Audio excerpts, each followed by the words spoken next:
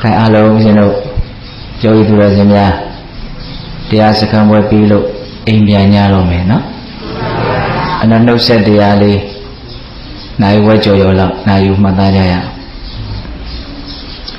ဘုန်းကြီးတို့ဓမ္မပဒပါဠိတော်ထဲမှာရေထဲမှာပဲအမြဲနေတဲ့ငါးကိုကုန်းမော်ဆယ်တင်ထားလို့ရှိရင်တစ်ဖြက်ဖြက်လှုပ်တယ်လို့မြတ်စွာဘုရားဘုရားပေးထားတဲ့ဥမာလေးရှိတယ်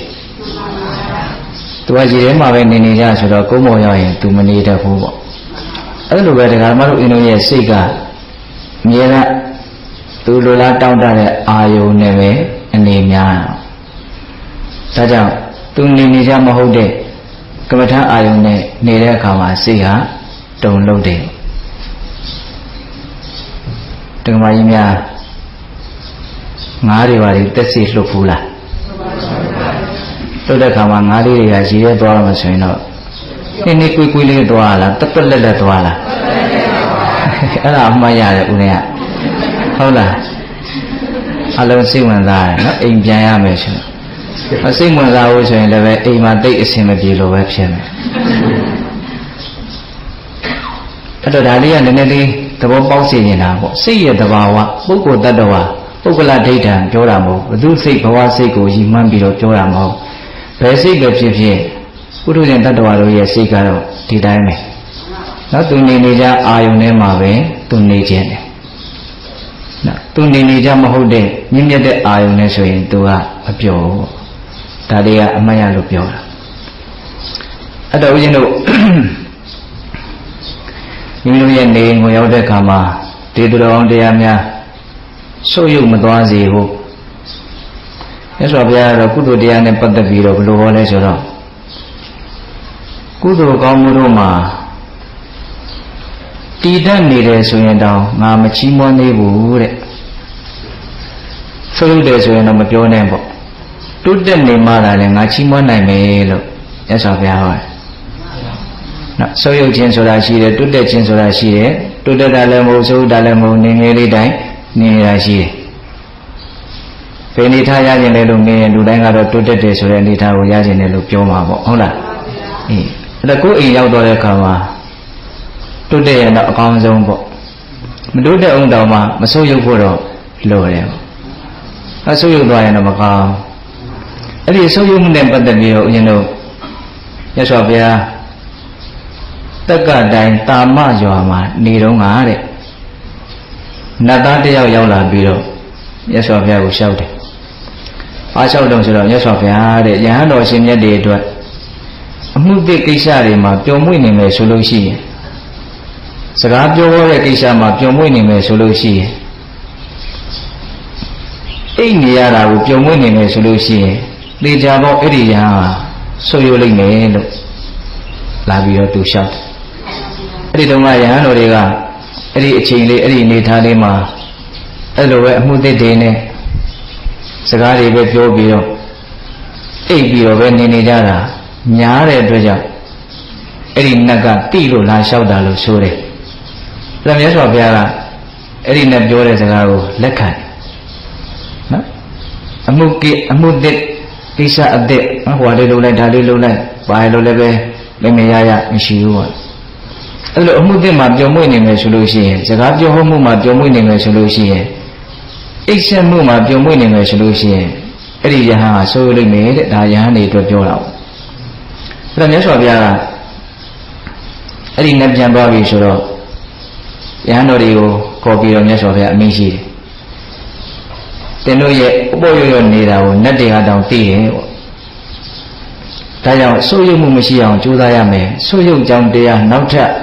ထပ်ပြီးတော့သုံးပါမှတ်သားထားအောင်ဆိုပြီးတော့ဆိုးရုပ်ကြောင့်တရား6ပါးဟောတယ်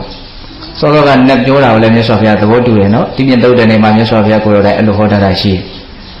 ဟုတ်လားနောက်ထပ်ထပ်ပြီးတော့ဟောတဲ့ဆိုးရုပ်ကြောင့်တရားကဘာလို့ဆိုတော့အပေါင်းအသင်းမှာမွေးလျော်ပျော်ပိုင်းနေမယ်ဆိုလို့ရှိရင်နော်အပြောအဆိုတွေခက်မယ်ဆုံးမရတာခက်မယ်ဆိုလို့ရှိရင်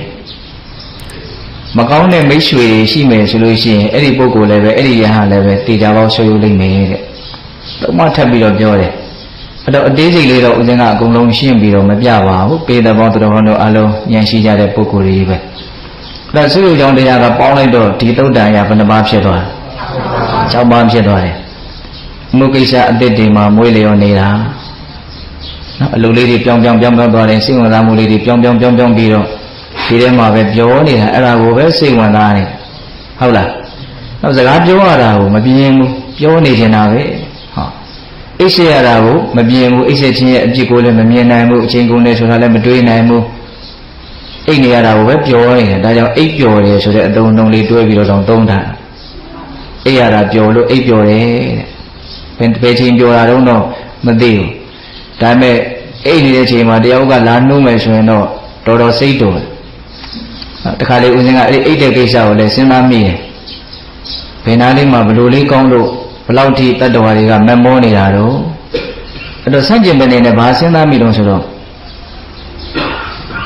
အိတ်မနေရတာတော်တော်ကိုမကောင်းလို့အိတ်နေရတာကိုကောင်းတယ်လို့ထင်တာနဲ့တူတယ်လို့ဟုတ်တယ်အိတ်နေရတာအိတ်မနေရတာများသောအားဖြင့်တော့တရားဓမ္မနဲ့နေတဲ့ပုဂ္ဂိုလ်တွေကိုတော့အလွတ်ထားပါကျန်တဲ့လူတွေကတော့လောဘဒေါသမောဟတွေနဲ့နေကြတာဒါပေမဲ့အိတ်မပြောတဲ့အချိန်မှာပင်ပန်းတယ်စိတ်ရောလူရောဒါကြောင့်မြတ်စွာဘုရားက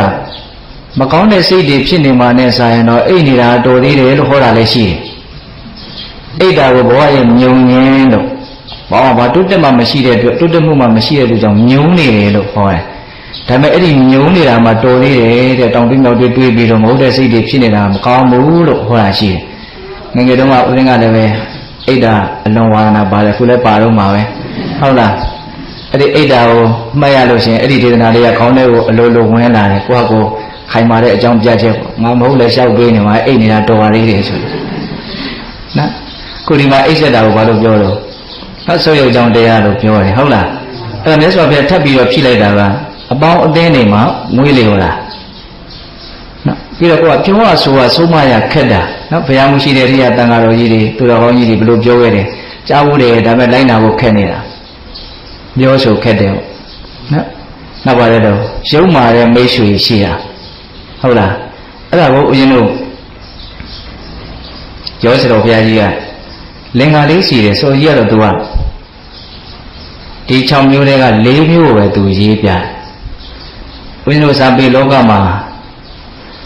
တာကြီးလေးတာအဲ့ဒီအတုံးလုံးရှိတယ်တာဆိုတာညည်တွေဘာတွေမရှံဖို့အတွက်တာယိုကြီးတွေလုပ်တာလည်းရှိတယ်ကိုယ်အသုံးကြတဲ့ရေတွေရှံထွက်မသွားဖို့လည်းပဲတာယိုကြီးတွေဆယ်ထားတာရှိတယ် မလိုလားအပ်တဲ့ရေရောက်မလာအောင်တာယိုဆယ်တာရှိတယ်လို့လိုလားအပ်တဲ့ရေတွေဆုံးရှုံးမသွားဖို့တာယိုဆယ်ထားတယ်လည်းရှိတယ်အဲတာဆိုတာဘာလဲဆိုလို့ရှိရင်အလွားလာမရှိအောင်ပိတ်ထားလိုက်တာပါပဲဒါတာပဲအဲ့တော့တာဆိုတာကသူကဒါဗမာစကားအရာပြောတဲ့တာခုဒီမှာတာကအမှုသစ်မှာမွေးလျော်တာကိုပါဠိလိုကမ္မာရမတာလို့ခေါ်တာကမ္မာရမတာတာယုတစ်ခုစကားပြောမှုမှာမွေးလျော်တာကိုဗတ္တာရမတာတဲ့ ပါဠိလိုလေးကဟုတ်လားပြီးတော့ဦးဇင်းတို့အိရှမှုမှာမွေးလျော်တာကိုကျွန်တော်နေဒါရာမတာနောက်မြတ်စွာဘုရားဆက်ပြီးတော့ခုနဟောတဲ့၃မျိုးတွေကပထမတစ်မျိုးကဘာတော့အပေါင်းအသင်းမှာမွေးလျော်တယ်သင်္ကနိကာရာမတာတာကြီးလေးတာအဲ့ဒီတာကြီးလေးတာကိုလုံအောင်ကားမယ်ဆိုပြီးတော့ဆိုရရတယ်လင်္ကာဆောင်ပုဒ်ကလေးစီထားတာရှိတယ်နော်အပူအလုတ်အလွန်ရှုပ်ရှုပ်ရုပ်တရားကင်းကွာသည် ကမာရမတာကိုအပူအလုတ်လို့ဆိုရည်သုံးတယ်ဟုတ်လားအလုတ်ပူတွေလုံနေတာအမသိတံမှုမရှိတာတွေကိုလုံနေတာဒါကိုကမာရမတာအပူအလုတ်အလွန်ရှုပ်ဆုပ်ယုတ်တရားကင်းကွာသည်အပူစကားအလွန်များတရားဆုပ်ယုတ်သည်အပူတွေပြောနေတာဘာမှမလိုအပ်တာတွေကိုပြောနေတာဘာမှတံမှုမရှိတာတွေကိုပြောနေတာဟုတ်လားအဲ့အိအနေများလုံးကြီး မှတ်လေတရားရှုပ်ရုပ်သည်အိနေတာအလွန်များတယ်တရားရှုပ်ရုပ်မဲတဲ့ယောနောဆက်ဆံများလုံးကြံဧကံတရားရှုပ်ရုပ်သည်ယောနောဓာရီဆက်ဆံဓာရီတိတ်များရင်လည်းတရားရှုပ်ရုပ်မဲတဲ့ဟုတ်လားတာယိုလေးခုလုံအောင်ပြုကောင်းမှုတရားတိုးတက်သည်ဒီတာယိုကြီးလေးခုလုံအောင်လုပ်တာတဲ့ဟုတ်လားတရားတကူလွန်မြော်ကိုတာယိုလေးခုလုံရမည်တဲ့ဆိုကြီးရေးထားတာ အဲဒါဆောင်းဘုတ်တွေကတခုမှမရဘူးဒီမှာစာရွက်ထဲမှာရေးလာတယ်အဲကိုယ်လေးထဲမှာတော့ပါသွားသေးတယ်အဲဒါဟိုတနေ့ကဟောဒီမှာကြီးမနဲ့နေတူထားတဲ့စာအုပ်လေးအလုံးတန်ဖိုးရှိပါတယ်အဲ့ဒီဆောင်ဖို့လေးတွေတည်းကကိုကြိုက်တာလေးတွေကောင်းမဲ့ထင်တာလေးတွေကိုအကုန်လုံးရှုပြီးတော့နောက်ကြောင်းလာတဲ့လူကိုဝေအောင်ပါပဲလို့အဲ့လိုအောင်းမိတာအခုအဲ့ဒီဥစ္စာကိုပဲလက်တွေ့ကြကြဒီကနေ့ပြောမယ်လို့ဆက်ပြီးတော့ပြောမယ်ဆိုပြီးတော့အ ဆောင်ဖို့လေးတွေကောင်းတာလေးတွေကြိုက်တာလေးတွေဒီနေ့ပြောမှနဲ့တင့်တော်တာလေးတွေရေးလာတယ်အဲ့တော့ဦးဇင်းတို့မစိုးရုပ်ဖို့အတွက်ရသော်ဘုရားဟောပြထားတဲ့နော်စိုးရုပ်ကြောင့်တရား6ပါးကိုရှောင်ဖို့လိုတယ်ပေါ့အဲ့ဒါခုနကရောဆိုကြီးရေးထားတာလေးကိုရုပ်ပြတာကတော့တာယူကြီးလေးခုလုံအောင်ပြုဆိုတာလေးကိုကိုယ့်ရဲ့စိတ်ထဲမှာအဲ့လိုလေးကပ်ပြီးတော့မှတ်လို့ရှိရင်ပို့ပြီးတော့ မမိလွယ်လို့အဲ့ဒါလေးကိုပြောပြတာသောတော်ကပြောတာလေးဒီတိုင်းပြစ်ထားလိုက်ရင်အဲ့ဒါကမေ့လွယ်ပြောင်းလွယ်ရှိနိုင်တယ်အခုအားကြတော့သူကကိုသိနေတဲ့အနေအထားဥပမာတစ်ခုထားပြီးတော့ပြောထားတာဆိုတော့စိတ်ထဲမှာမှတ်ရတာပို့ပြီးတော့ရှင်းတယ်စွဲတယ်ဒါကြောင့်ဒီလင်္ကာလေးကိုရွတ်ပြတယ်အဲ့ဒါကိုမှမစိုးရုပ်ချင်ဘူးဆိုရင်ဒီတရားတွေမရှိအောင်နေရမယ်ပေါ့နောက်တစ်ချက်ကမိမိတို့ရဲ့အိမ်ကိုပြန်လာနေ တရားဓမ္မတွေကိုဗာပြောခြင်းလို့ဆိုတော့အကောင်းဆုံးအဆုံးအမအကောင်းဆုံးဒေသနာလို့ပြောရမယ်မြတ်စွာဘုရားရဲ့အဆုံးအမပေါ့အဲ့ဒါဘာလဲဆိုတော့အပ္ပမဒေနသမ္မာဒိဋ္ဌဒါကပိကသုံးဖို့အားလုံးအကျုံးဝင်တဲ့အဆုံးအမလို့တော့ဒီလိုပြောရအောင်အပ္ပမဒေနမမိမလျော့ခြင်းလို့ဆိုတဲ့တတိတရားနဲ့တမ္ပါဒိဋ္ဌသူတော်ကောင်းတရားကိုပြည့်စုံအောင်တိုးတက်အောင် ကြိုးစားကြရမယ်ရှင်းတော့ကသူတော်ကောင်းကြီးတွေကအပ္ပမဒတရားရဲ့တန်ဖိုးကိုသိကြလို့မြင်ကြလို့တိလယူပြီးတိုင်းတိလပြီးပြီးတိုင်းအပမဒေနတမ္ပါဒေထဆိုတာလေးကတော့ပြောပြအောင်ပြောဖြစ်သွားအောင်အစဉ်အလာလေးတစ်ခုလုပ်ခဲ့တယ်တရားဟောဒီဖြစ်စီမောဒီဖြစ်စီအပမဒေနတမ္ပါဒေထဆိုတာလေးတော့ဘုန်းကြီးတွေကမရွတ်ဆိုလိုက်ဘူးလားရွတ်ဆိုလိုက်တယ်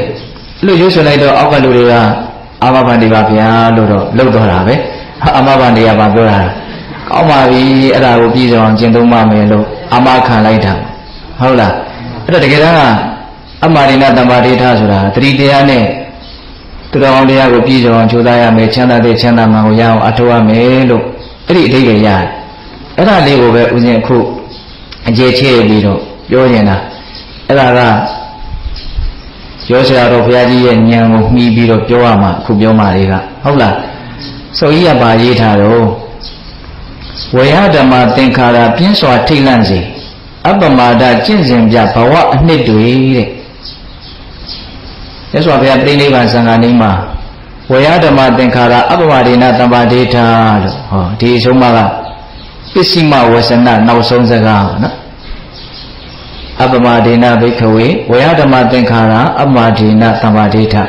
အဲ့တော့ဝေယဓမ္မသင်္ခါရဆိုတာဘာပြောတာတုံးနဲ့ဆိုရဒီမှာသုံးသက်တဲ့တူတူလေးနဲ့ဝေယဓမ္မသင်္ခါရပြင်းစွာထိတ်လန့်စေဘဝရဲ့တဘာဝကိုမှန်မှန်ကန်ကန်သိပြီးတော့ဒီထိတ်လန့်တဲ့ထိတ်လန့်တဲ့နဲ့ဒီတရားတွေရဲ့ပုံမှာထိတ်လန့်မှုအသိဉာဏ်ဉာဏ်နဲ့ရှင်တဲ့ဥဒ္ဒပတံဝေကပေါ့နော်တံဝေကဆိုတာဉာဏ်နဲ့ရှင်တဲ့အကြောက်ကြောက်တဲ့ကြောက်ထိုက်တာကိုကြောက်တာကိုတံဝေကလို့ခေါ်တာနော် အဲ့ဒီကြောက်တဲ့ကြောက်ထိုက်တာကိုကြောက်တဲ့ဉာဏ်တံဝေကရအောင်ထိတ်လန့်မှုရှိအောင်ဝေယဓမ္မသင်္ခါရလို့ပြောလိုက်တာတဲ့ဝေယဓမ္မသင်္ခါရပြင်းစွာထိတ်လန့်စေအပ္ပမာဒကျင့်စဉ်ပြဘဝအနှစ်တွေအပ္ပမာဒဆိုတာအဲ့ဒီထိလန့်စရာကောင်းတဲ့ဘဝတန်တရားကလွတ်မြောက်အောင်ဘယ်လိုလုပ်ရမှာတော့ဆိုတာရဲ့အတူတူကျင့်စဉ်ပဲတဲ့တတိနဲ့ဒီဒုက္ခဝတ်ကနေလွတ်မြောက်အောင်ကြိုးစားရမယ်လို့ဒုက္ခလွတ်ချင်တယ်ဒုက္ခငြိမ်းချင်တယ်ဆိုရင် ဘာနဲ့ကျင့်ရမလဲဆိုတဲ့ကျင့်စဉ်ကိုအတူဆုံးအနှစ်သာရအရှိဆုံးစကားလုံးနဲ့မြတ်စွာဘုရားကျင့်စဉ်ကိုပြောလိုက်တာတဲ့နော်ဝေယဓမ္မသင်္ခါရပြင်းစွာထိတ်လန့်စေအပ္ပမာဒကျင့်စဉ်ပြဘဝအနှစ်တွေတော့ဒီနေရာမှာဝေယဓမ္မသင်္ခါရပြင်းစွာထိလန့်စေဆိုတာလေးကိုပြောလိုက်တော့ဦးနေကခေါင်းထဲမှာဘာမှတ်ရအောင်ဆိုတော့ရသော်ဘုရားဟောထားတဲ့တိဟသုတ်တန်ဆိုတာရှိတယ်ရသော်ဘုရား ပုဂ္ဂိုလ်သူရှင်သေမင်းကြီးနဲ့ဥမာပေးပြီးတော့ဟောထားတဲ့သုတ်တန်ပေါ့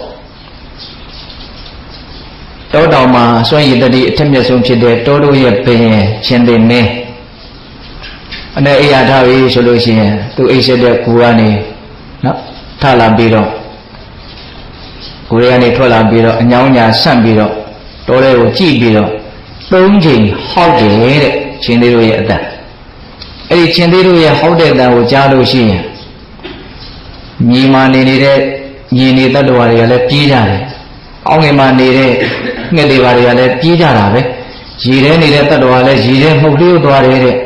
နော်တွင်းနေပါလေတဲ့အောင်းနေတဲ့တတ္တဝါတွင်းနေတဲ့ဝင်ပြေးရောတစ်မမော်နေတဲ့တတ္တဝါတစ်မော်တက်သွားတယ်အကုန်လုံးထိတ်လန့်တဲ့တုံလုံးတယ်မထိတ်လန့်တဲ့တတ္တဝါမရှိ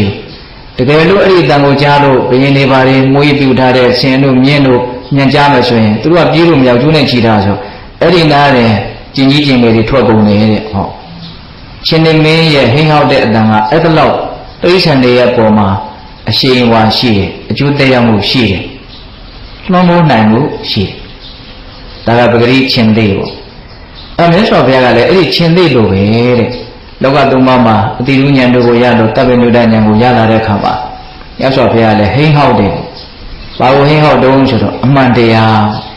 အမှန်တရားကိုအဲ့ဒီထဲမှာတော့တစ္ဆာ၄ပါးကိုပြောထားတယ်တစ္ဆာ၄ပါးကို တက္ကာယဆိုတဲ့အသုံးလုံးလေးနဲ့ပြောတယ်တက္ကာယဆိုတာယုတ်တဲ့နန္တတဘာဝတရားကိုတက္ကာယလို့ခေါ်တယ်ထင်ရှားရှိတဲ့ယုံနံကိုတက္ကာယလို့ခေါ်တယ်ဟုတ်လားဒါတွေဟာတက္ကာယတရားတွေဆင်းရဲတဲ့တရားတွေမတည်မြဲတဲ့တရားတွေဒီတက္ကာယတရားတွေဖြစ်ခြင်းရဲ့အကြောင်းတရားကတော့လောဘပဲလောဘချုပ်မှတက္ကာယဆိုတဲ့ဒုက္ခချုပ်နေပေါ့နော်ဒီလောဘချုပ်ပြီးတော့တက္ကာယချုပ်တဲ့ဒုက္ခချုပ်သွားအောင်ဘယ်လိုလုပ်ရမလဲဆိုရင်မဲ့ခင်ရှိပါကိုပွားများရမယ်ဆိုပြီးတော့ဒုက္ခနဲ့ဒုက္ခရဲ့အကြောင်းတရား ဒုက္ခချုပ်ခြင်းနဲ့ဒုက္ခချုပ်ခြင်းတို့ရောက်စေတတ်တဲ့အကျက်သစ္စာ၄ပါးဒီချက်ပြန်မှတ်မယ်နော်ဒုက္ခနဲ့ဒုက္ခရဲ့အကြောင်းတရားတစိုးနော်ဒုက္ခချုပ်ရနဲ့ဒုက္ခချုပ်ရတို့ရောက်စေတတ်တဲ့အကျင့်တစိုးအဲ့ဒါကိုမြတ်စွာဘုရားဟောပြတယ်အဲ့ဒါချင်းနေမင်းကြီးရဲ့ဖိဟောတဲ့အတန်ပဲတဲ့မြတ်စွာဘုရားရဲ့တစ္ဆာတရားကိုကျူးရင်တဲ့အတန်အဲ့ဒီအတန်ကိုကြားတဲ့အခါမှာနော် အလွန်တတန်းရှိတဲ့စီးရင်ကြီးကြတဲ့မြမာရေတောင်မှထိတ်လန့်နေတဲ့မြတ်စွာဘုရားရဲ့အဲ့ဒီတရားသံကိုကြားတဲ့အခါမှာဉာဏ်နဲ့ရှင်တဲ့ထိတ်လန့်မှုတို့ရတယ်ဘယ်လိုထိတ်လန့်လို့ဆိုတော့သူတို့ချင်းချင်းပြောကြတယ်တဲ့အချင်းတို့ငါတို့ဟာကိုယ့်ကိုယ်ကိုအကြာကြီးခိုင်မြဲနေမယ်တီးနေမယ်လို့ထင်ကြတာကောင်းတယ်လို့ထင်နေတာတကယ်စင်စစ်တို့ဟာမတည်မြဲတဲ့မကောင်းတဲ့တရားတွေပဲအကျုံးဝင်နေတာတဲ့တို့ရဲ့အခြေအနေတို့ရဲ့ဘဝတို့ရဲ့အနေအထားက မတည်မြဲတဲ့မကောင်းတဲ့အနေအထားတွေမှာပဲအကျုံးဝင်နေတာတဲ့လို့တို့သိတယ်အဲ့ဒါကြောင့်သူတို့အလွန်ထိတ်လန့်နေတဲ့နော်တက်တန်းရှိတဲ့စီရင်ကြီးတဲ့နတ်တွေတောင်ထိတ်လန့်တယ်လို့ဆိုတယ်အဲ့တော့ဦးဇင်းကမနေ့တုန်းကလမ်းလျှောက်ရင်းနဲ့အဲ့ဒါကိုစဉ်းစားကြည့်တော့အချင်းသေးအော်ဝါချင်းသေးဟောက်တန်ကြားတဲ့အခါမှာကြားတဲ့တတ္တဝါကြီးအိဆန်တွေအကုန်လုံးလန့်ကြတယ်နော်တကယ်လို့မကြားတဲ့တတ္တဝါတော့မကြားတဲ့သူကြောင့်သူတော့လန့်မှာမဟုတ်ကြားမှမကြားတာဆိုတော့ तू ကမလန့်နိုင် ခုလိုပဲမြတ်စွာဘုရားဟောပြတဲ့ဒီတရားစံတွေကိုမကြားတဲ့လူတွေကတော့ဘလို့မှထိလက်မှုတန်ဝေကမရနိုင်ဒီနေ့မှာကြားရဆိုတာကရုံးလိုက်တဲ့အတန်ကိုနားနဲ့ကြားတာလောက်ကိုရည်ရွယ်တာမဟုတ်ဘူးဟုတ်လားဉာဏ်နဲ့အတိနဲ့ထိတွေ့နိုင်တဲ့အနေအထားကိုရည်ရွယ်တာဟုတ်လားဒါကြောင့်တယောက်နဲ့တယောက်အဲ့ဒါကလည်းမတူတဲ့အခါကျတော့ထိလက်မှုတွေကလည်းမတူဘူးเนาะကြားဖို့ကတော့ပဂရိနာနဲ့ကြားဖို့ကတော့တိတ်အခက်ခဲမရှိတော့ဒါတော့တိတ်တော့မလွယ်လား အဲ့ဒါတောင်တော်တော်ခက်ခဲတယ်ပဂရိနာနဲ့ကြားပြီးတဲ့နောက်မှာညာနာနဲ့ထိတွေ့နိုင်ဖို့ကြတော့တောင်နဲ့တယောက်မတွန်နိုင်ကြဘူးနော်ဘလောက်ထိကြာမလို့ဝရဝါဒလောက်လေးပဲလားပြည်ပြည်သားသားကြီးပဲလားဒါတော့တောင်နဲ့တယောက်မတွန်နိုင်အဲ့ဒီကြားမှုရှိမှသာလေထိလန့်မှုဆိုတာဖြစ်နိုင်ကြားမှမကြားပဲနဲ့အေးစီတွေပဲဟုတ်တယ်မဟုတ်လားဒါကြောင့်လောကလူသားတတ္တဝါတွေဘာကြောင့်တယောက်နဲ့တယောက်ထိလန့်မှုအကြည်အသေးအနည်းများကွာနေတာတော့လို့မေးရင်အဲ့ဒီကြားမှု ကွာသွားလို့ပေါ့ဟုတ်လားအေးဒါကြောင့်ဝေယဓမ္မသင်္ခါရပြင်းစွာထိလန့်စေအပ္ပမာဒကျင့်စဉ်ပြဘဝအနှစ်တွေနော်သံဃာလေးတွေကဦးဇင်းကချပေးတဲ့အလေးကတိတ်မရှိဘူးကိုယ်ပဲရှိရပဲဆိုသွားတာပဲများတယ်ဟုတ်လားတော့ချိန်ကုန်တော့တတ်တာတာပေါ့လေမချပေးရင်လည်းပဲတစ်မျိုးကောင်းပါလေနည်းနည်းတော့စွဲရသွားတာပေါ့ဟုတ်လားစိတ်ထဲမှာအဲ့တော့ဒါတော့ပြောချင်တာလေးတွေကအများကြီးရှိတယ် အဲ့တော့အပ္ပမာဒကျင့်စဉ်ပြဘဝအနှစ်တွေဒါခုနှစ်လုံးလုံးကျင့်သုံးခဲ့တဲ့လုပ်ငန်းစဉ်ရဲ့အနှစ်ချုပ်ဟာဒီအပ္ပမာဒနဲ့နေဖို့ကြိုးစားအထောက်ကြအထောက်ကြတာပေါ့နော်။နောက်လည်းပဲဒီအပ္ပမာဒနဲ့နေဖို့ကြိုးစားရင်းနဲ့ပဲဘဝရဲ့အနှစ်သာရအစစ်အမှန်ဖြစ်တဲ့အတိအဉာဏ်ကိုရအောင်ကြိုးစားကြရပါ။ဆက်ပြီးတော့ဆိုရင်ရေးတာလေးကိုပေတတ်တို့ကိုနည်းနည်းလေးတော့အရာသာခံကြည့်လေခြင်းဦးရင်းနော်။ကိုယ်စိတ်ထဲမှာကောင်းတဲ့ထင်ရင်သူများကလည်းဟောကောင်းမယ်လို့အဲ့လိုစိတ်ကလည်းထင်တာ ဒါလည်းများသောအားဖြင့်သဘောထားတွေကတူတတ်ပါတယ် အာကြီးထားတော့ဆိုတော့အတိမပါအဲတတိမပါအတိกว่าရှိတာအကုန်ရှုံးတယ်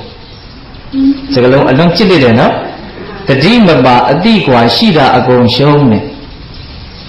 အတောင်ကျိုးညာငှက်အလားစွမ်းအားအကုန်တုံးတယ်ဥမာပါဆက်ပေးတာတတိကိုကံစိတ်ကိုနိုင်ကြန့်ခိုင်စိန်တလုံးနဲ့စိန်ဆိုတာတော့အမာဆုံးပဲလေဟုတ်လားဒီသုံးချောင်းလေး ဒါကတပုတ်ပေါ့ဟုတ်လားဒါလေးကိုနည်းနည်းလေးပြန်စဉ်းစားကြည့်တတိမမအတိကွာရှိတာအကုန်ရှုံးတယ်တတိမရှိရင်တော့ဘာမှမမကန်ကန်တီးတဲ့အတိကိုရမှာမဟုတ်အဲ့လိုဆိုလို့ရှိရင်ကိုယ့်ရဲ့အခွင့်အရေးရနိုင်တဲ့အနေအထားအကုန်လုံးလည်းရှုံးရှုံးသွားတယ်နောက်အချင်းက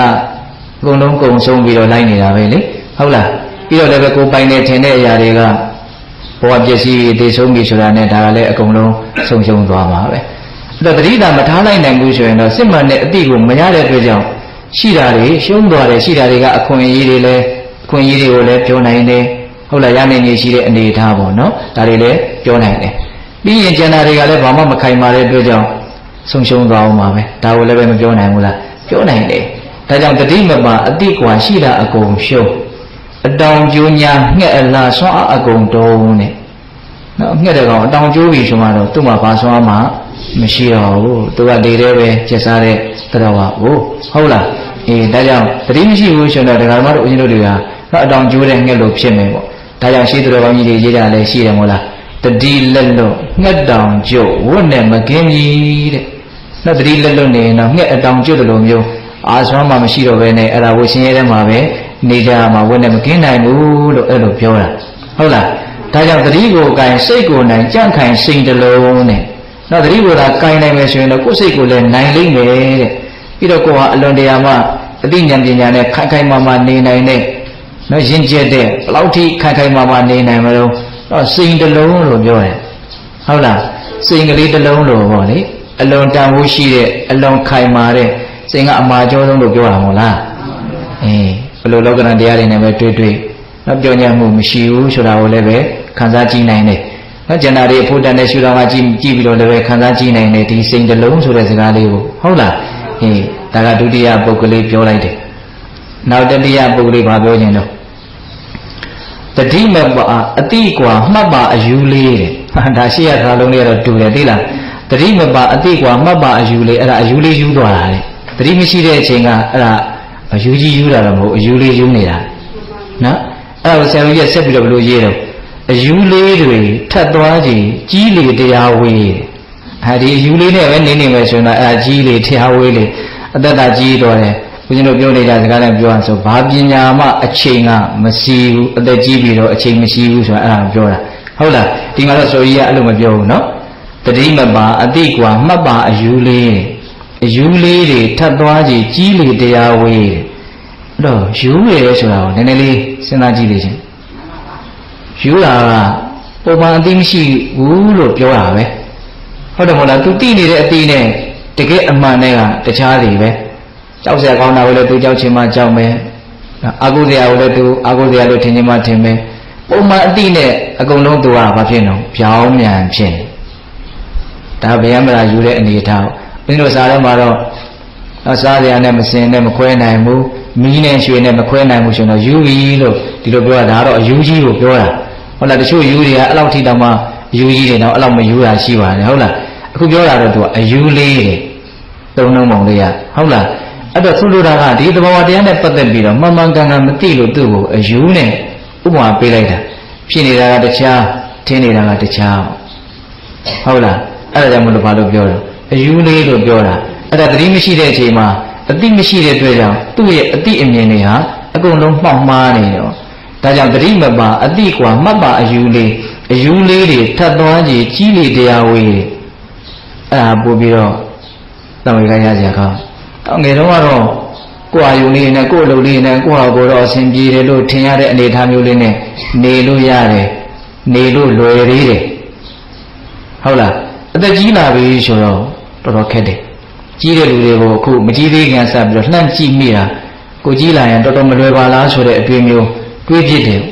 ဟုတ်လားအမတကူလုံးကောင်းတာလည်းမရှိဘူး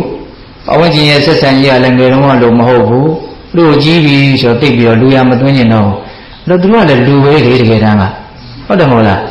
အလူမနည်းနည်းလူမဟုတ်ဘူးဒါတွေငါမွေးလို့လူဖြစ်လာတာဒီလူတွေကငါလက်ပေါ်ကြီးလာတာဆိုတော့အဲ့တိုင်းစိတ်ကောင်ရှိနေတာအဲ့တော့အဲ့လိုလူတွေကကိုယ့်ကိုပြန်ပြီးတော့လူအမသိဘူးဆိုရင်သူတို့ဘယ်လောက်ခံစားရမလို့ဒါစဉ်းစားကြည့်ပေါ့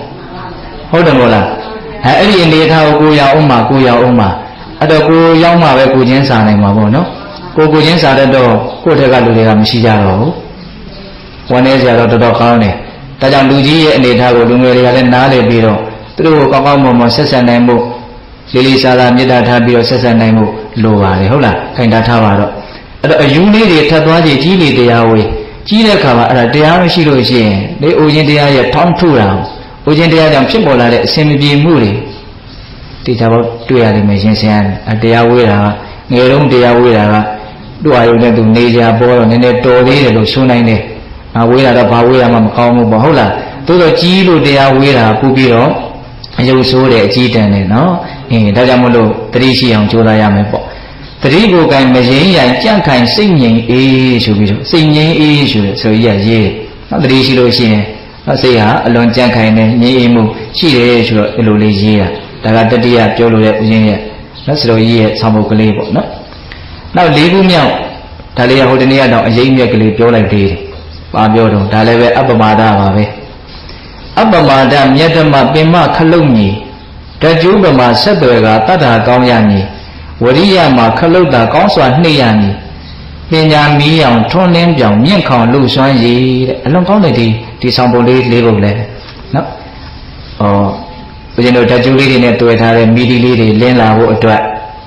နော်ပါရီလိုလဲဆိုတာပြောတာဒီအလင်းရောင်လေးရှိမှမြင်နေမြင်လိုက်တာကိုမြင်တာနမတိုက်အောင်မခမ်းပြီးအောင်သွားလို့လာလို့ရတာလှုပ်လို့တိုင်လို့အလုပ်လို့ရတာဒီအလင်းရောင်ရှိမှအဲ့တော့အဲ့ဒီအလင်းရောင်ဆိုတာဘာကိုပြောရမလဲပညာကိုပြောတာဟုတ်လားဘဝမှာအသိဉာဏ်ပညာရှိမှနော်လှုပ်တဲ့လှုပ်ထိုက်တဲ့အလုပ်ကိုနားလည်မယ်မလှုပ်တဲ့မလှုပ်ထိုက်တဲ့အလုပ်ကိုနားလည်မယ်ရှောင်တဲ့ရှောင်တဲ့တာကိုရှောင်နိုင်မယ်နော်ဆောင်းတဲ့ဆောင်းတဲ့တာကိုဆောင်းနိုင်မယ် ဒီအသိပညာလေးလင်းနေဖို့လိုတယ်ပေါ့လူတိုင်းလူတိုင်းရဲ့ဘဝမှာအဲ့ဒါလင်းနေတယ်ဆိုလို့ရှိရင်ပထမဦးစွာမိဒီနဲ့ပြမတကျိုးကြီးနဲ့ဆက်သွယ်ထားတဲ့ကျူးလေးတော့တတ်ထားဖို့လိုတယ်ဟုတ်တယ်မို့လားအဲ့ဒီကျိုးကဘာကိုပြောတာလဲဆိုတော့တတ္တတရားကိုပြောတာတဲ့ဓာတ်ကျိုးပမာဆက်သွယ်ကတော့တတ္တကောင်းရမည်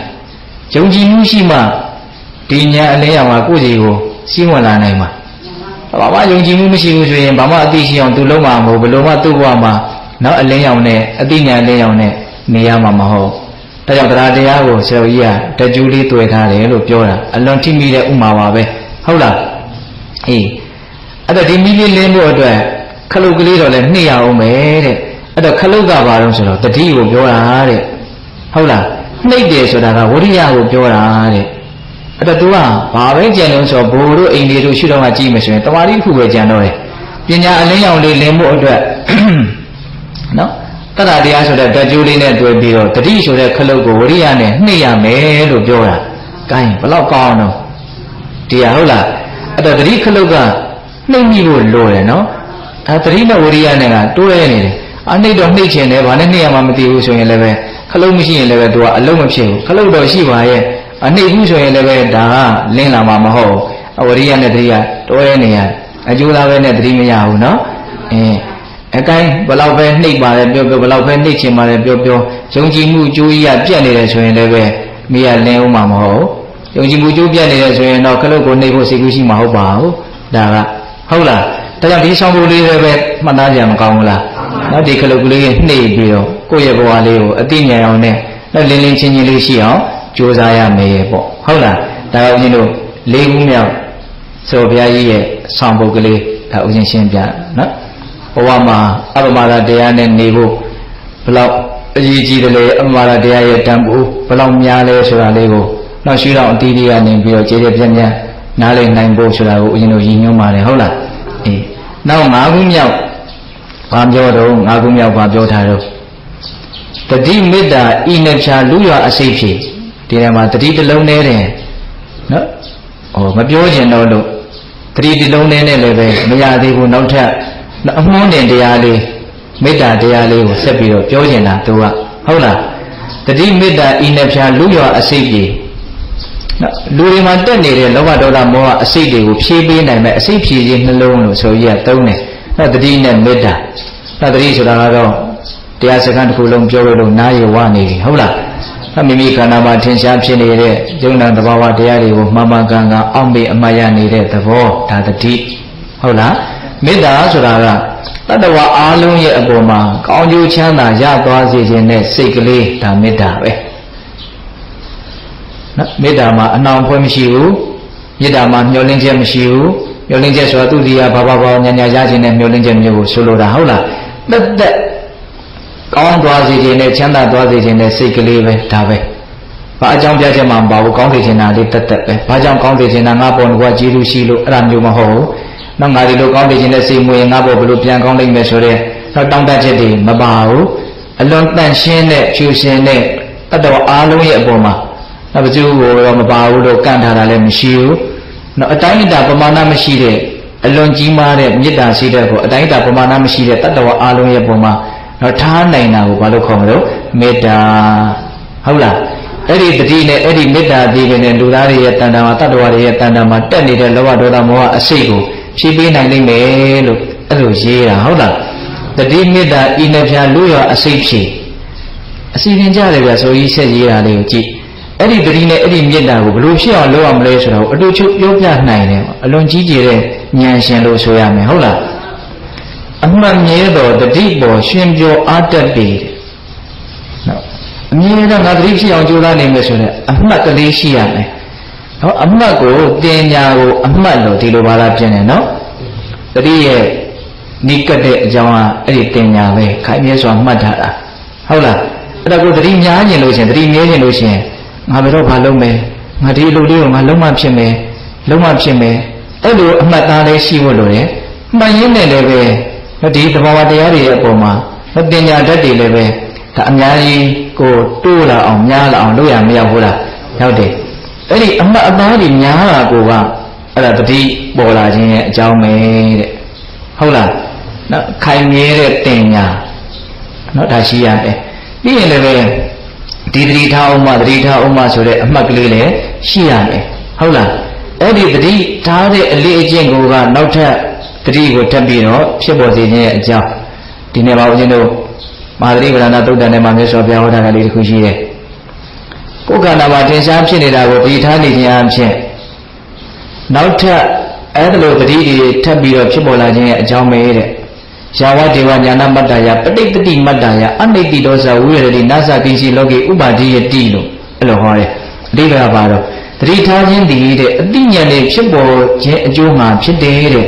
နောက်ထပ်ဓာတ်ထက်ခိုင်မြဲတဲ့ကောင်းမွန်တဲ့တတိတွေထပ်ထပ်ပြီးတော့ဖြစ်လာကြအကြောင်းရှိအကြောင်းဖြစ်တယ်လို့အဲ့လိုဟောတာ သူတို့ကတတိထားခြင်းကြောင့်ကိုပဲနောက်ထပ်တတိတွေထပ်ထပ်ဖြစ်လာနိုင်တယ်တမို့တရားထိုင်ပြီးကသာတရားအထုတ်ပြီးကသာဆိုရင်လူကထတော့လဲတတိလေးကပါနေတော့မသိမကြိုးစားပဲနဲ့ဟုတ်တယ်မဟုတ်လားကြာမှလာအရှိန်ပြေးပြီးတော့မိမိပြောက်ပြောက်ဖြစ်သွားတာဟုတ်တယ်မဟုတ်လားတတိရဲ့အရှိန်လေးကရှိတယ်နော်ဒါကြောင့်တတိများရင်ဘာလို့မလဲတတိဝဲထားဖို့ပဲလိုတယ်ပေါ့ဟုတ်လားဒါဆိုကြီးကအမှတ်မြဲတော့တတိပေါ်ရှင်ပြောအပ်တတ်ပြီတဲ့နော် တတိလေးမြဲခြင်းဒီကနေ့တတိတွေပေါ်လာခြင်းရဲ့အကြောင်းတတိတွေပေါ်လာလို့ရှိရင်ရှင်ပြောအပ်တတ်ပြီနော်ငြိမ်းချမ်းမှုပျော်ရွှင်မှုအားရှိမှုဒါတွေကိုရနိုင်တယ်ပေါ့ဟုတ်လားဒါကတတိဖြစ်ခြင်းရဲ့အကြောင်းအတူချုပ်ပေါ့နောက်မေတ္တာဖြစ်ခြင်းရဲ့အကြောင်းဒါလေးလည်းကောင်းခန္တီခိုင်မာကောင်းကွက်ရှာမှမေတ္တာရမုတ်ချအေးချမ်းမေတဲ့မေတ္တာရှိခြင်းတယ်ဆိုလို့ရှိရင်တဲ့ခန္တီခိုင်မာတိခံမှုတရားခိုင်ခိုင်မာမာ လက်ကင်ဆွဲရမယ်တဲ့ဘာပဲဖြစ်ဖြစ်ငါတိခံနိုင်မယ်လေဆိုတာလေမကြည်နဲ့ရင်မကြည်နဲ့တာကိုထိုင်တွေ့ပြီးတော့ငါဘယ်လိုပြန်ပြောရမလို့ငါဒါကြီးကိုဘယ်လိုရှင်းရမလို့ဆိုတဲ့အတွေ့မျိုးမတွေ့ဘူးညာတော့ဖြင့်ဒကာမတို့ရဲ့ဥယျာဉ်တွေအဲ့လိုတွေ့ရနော်ကိုယ်စိတ်ထဲမှာမဟုတ်ဘူးထင်လို့ကတော့ဘယ်လိုပြန်ပြောလိုက်ရမလဲမင်းဘယ်လိုမှားနေတာငါဘယ်လိုထောက်ပြလိုက်ရမလဲဟုတ်လားဒါမှမင်းငါအဲ့လိုထင်နေတာငါအဲ့လိုမဟုတ်ဘူးဆိုတာကိုပြန်ပြီးတော့ရှင်းခြင်းဒါမုတ်ပြီးတော့ခံမယ်ဆိုတဲ့စိတ်ကတော့မရှိဘူး မတရားဘူးလို့ထင်လို့ရှိရင်ကိုကဒါကိုပြောနေတာအဲ့ဒါကိုလည်းကိုကိုသူတော်ကောင်းဟောသူရေးကောင်းတွေကလည်းထင်ချင်းထင်နေတာငါတို့ကမဟုတ်မခံပဲဟုတ်လားဟာမမဟုတ်မခံတာပြောတာဟုတ်တော့ခံလားဆိုဟုတ်တော့လည်းမခံဘူးနော်ဆရာကြီးထိလည်းပြောတာဦးဇင်းအရန်သဘောကျတယ်မဟုတ်မခံဆိုတဲ့လူတွေကဟုတ်လည်းမခံပါဘူးတဲ့ဟုတ်ရင်ဘုရားမခံသေးတယ်တဲ့ဟုတ်ရဲ့နဲ့ပြောရမလားဆိုတော့ဟုတ်ရဲ့လားအဲ့တော့ခန္တီတရားကိုဘာလဲတော့ခိုင်ခိုင်မာမာမွေးရမယ်နော်တိခံမယ်ဆိုတဲ့ အလေးအကျင့်ကလေးတိခံမယ်ဆိုတဲ့စိတ်ဓာတ်ကလေးဘာပဲဖြစ်ဖြစ်ဒါတော်တော်တော့မလွယ်တဲ့ကိစ္စပါနော်တမယိုးကြအဲ့ဒီနည်းနဲ့တရားမတို့ဦးဇင်းတို့တွေကသိမဖြေရှင်းခဲ့ဘူးတုံ့ပြန်တဲ့နည်းနဲ့ပဲဖြေရှင်းခဲ့ကြတာဒါကိုပဲအကောင်းထင်တာဒါကိုပဲအစွမ်းရှိတယ်လို့ထင်တာဒါကိုပဲလုပ်တဲ့လုပ်ထိုက်တယ်လို့ထင်တာဟုတ်လားကျောင်းမြန်ကြီးတော့မြတ်စွာဘုရားဟောပြတာကတော့လောကလူသားတွေလုပ်နေတဲ့အလုပ်တွေနဲ့ကကြောင်းမြန်ဖြစ်နေတယ်မြတ်စွာဘုရားဘယ်လိုပြောလဲဘာမှတုံ့ပြန်မနေနဲ့ပြီးတာခံလိုက် တော်တော်မလွယ်တဲ့ကိစ္စပဲဒီဥစ္စာမလွယ်လို့လည်းပဲအဲ့ဒါမြင့်မြတ်တဲ့လူတွေကနဲနေတာပေါ့ရိုးရိုးလေးဒါကြောင့်မြတ်စွာဘုရားခန္တီပရမန္တဘောတိတိခာတိခံခြင်းဟာအမြင့်မြတ်ဆုံးသောကျင့်စဉ်အကျင့်ကိုလည်းအလွန်ခက်ပါတယ်ဒီဥစ္စာကဟုတ်လားဒါပေမဲ့လို့ဒါလေးကိုတော့အကျိုးကျေးဇူးကိုနားလည်ပြီးတော့မြင့်မြတ်တာကိုနားလည်ပြီးတော့ဖြစ်အောင်တတ်နိုင်ကြလုပ်ကြရမှာပေါ့နော်ဘာပဲဖြစ်ဖြစ်ငါငါတိခံနိုင်မယ်ငုံပြီးတော့ခံမယ်မှားတာမှန်တာတွေဘာမှအကြောင်းပြပြီးတော့နေတာမရှိဘူး။ ကိုင်းဘာဖြစ်တော့ပြီးသွားပြီပဲ။ထားလိုက်တော့ပြောခဲ့လို့ဆိုရင်လည်းပြီးသွားပြီ။မပြီးနိုင်တာကိုယ့်ကိုမပြီးနိုင်တာလေတကယ်တမ်းကဟုတ်လား။ဒါကြောင့်ပြီးခံဖို့အတွက်လည်းပဲတော့ရှိတော်မျိုးစုံကပြောရမယ်ဆိုရင်တော့စကားကအများကြီးရှိလေရတယ်ရှိတယ်။ဉာဏ်ပညာလည်းကြီးဖို့လိုတယ်။ဉာဏ်ပညာမကြီးဘဲနဲ့ပြီးခံဖို့ဆိုတာလည်းတိတ်ပြီးတော့မလွယ်ဘူး။ဟုတ်ရဲ့လား။ဒါကြောင့်ပြီးခံတယ်ဆိုတာအလွန်ဉာဏ်ထက်ဖို့လည်းလိုမယ်လို့အရင်ထင်တယ်။နော်တဘာဝတရားတွေနဲ့ပတ်သက်ပြီးတော့တည်တဲ့ဉာဏ်ပေါ့နော်။အေး အဲ့ဒါအဲ့ဒီခန္တီခိုင်မာကောင်းကွက်ရှာမှမေတ္တာရမုတ်ချအေးချမ်းပြီနောက်ထပ်ဘာလို့ရမလို့မေတ္တာရှာကောင်းကွက်ရှာရအောင်မေတဲ့နှစ်ချက်လို့ရနော်ကိုယ်မှာတီးခံတတ်တဲ့အည်တွေးရှိရမယ်တစ်ဖက်သားအပေါ်မှာကောင်းတာလေးတွေကိုရွေးချယ်ပြီးတော့မြင်တတ်တဲ့အလေးချင်းရှိရမယ်အဲ့ဒါလည်းလူတွေမှာတာမန်အဖြစ်အလွန်အားနေမြင်ပြီဆိုရင်ဘာပဲမဆိုမကောင်းတာပဲမြင်မြင်တကယ်တကယ်လူတယောက်မှာမကောင်းတာကြီးတက်တက်စုနေတာဆိုမရှိပါဘူးကောင်းတာနဲ့မကောင်းတာနဲ့ရောနေတယ်ကိုယ့်ရဲ့ နော်ကောင်းတာလေးကိုရှာတတ်တဲ့အလေးအကျင့်လေးကိုသာထူထောင်လိုက်မယ်ဆိုရင်လောကကြီးကကျင့်တတ်စရာရှိပါတယ်လူတွေရဲ့ပုံမှာမြင်ရတဲ့အမြင်ကဟုတ်လားအဲ့တော့ကိုကမကောင်းတာကြီးကိုမြင်လို့ကိုယ်စိတ်ထဲမှာမကျင့်တတ်ဘူးဆိုတော့လည်းပဲကိုယ်ကမကျင့်တတ်လို့ဖြစ်ရတဲ့ဒေါသရဲ့ခံရတဲ့ချက်ကိုခံရရတာပဲရှိတယ်အဲ့ဒီလူကြီးကတော့ကျင့်တတ်စရာဖြစ်မသွားဘူးဒါတော့တော်ကိုစဉ်းစားတဲ့အကောင်းနဲ့ဒါကြောင့်ဒါကိုတော့မကြခဏဦးရှင်တို့ပြောပြတယ်ဟုတ်လားကိုဒီမခံနိုင်လို့ကိုဒေါသဖြစ်လို့သူ့ကိုကိုမကောင်းမှုလို့မြင်လို့ तू ကကောင်းသွားတယ်ဆိုတော့ तू လည်းကောင်းမသွားဘူးကိုယ်ကလည်းတက်တက် မကောင်းတာကိုမြင်လိုက်လို့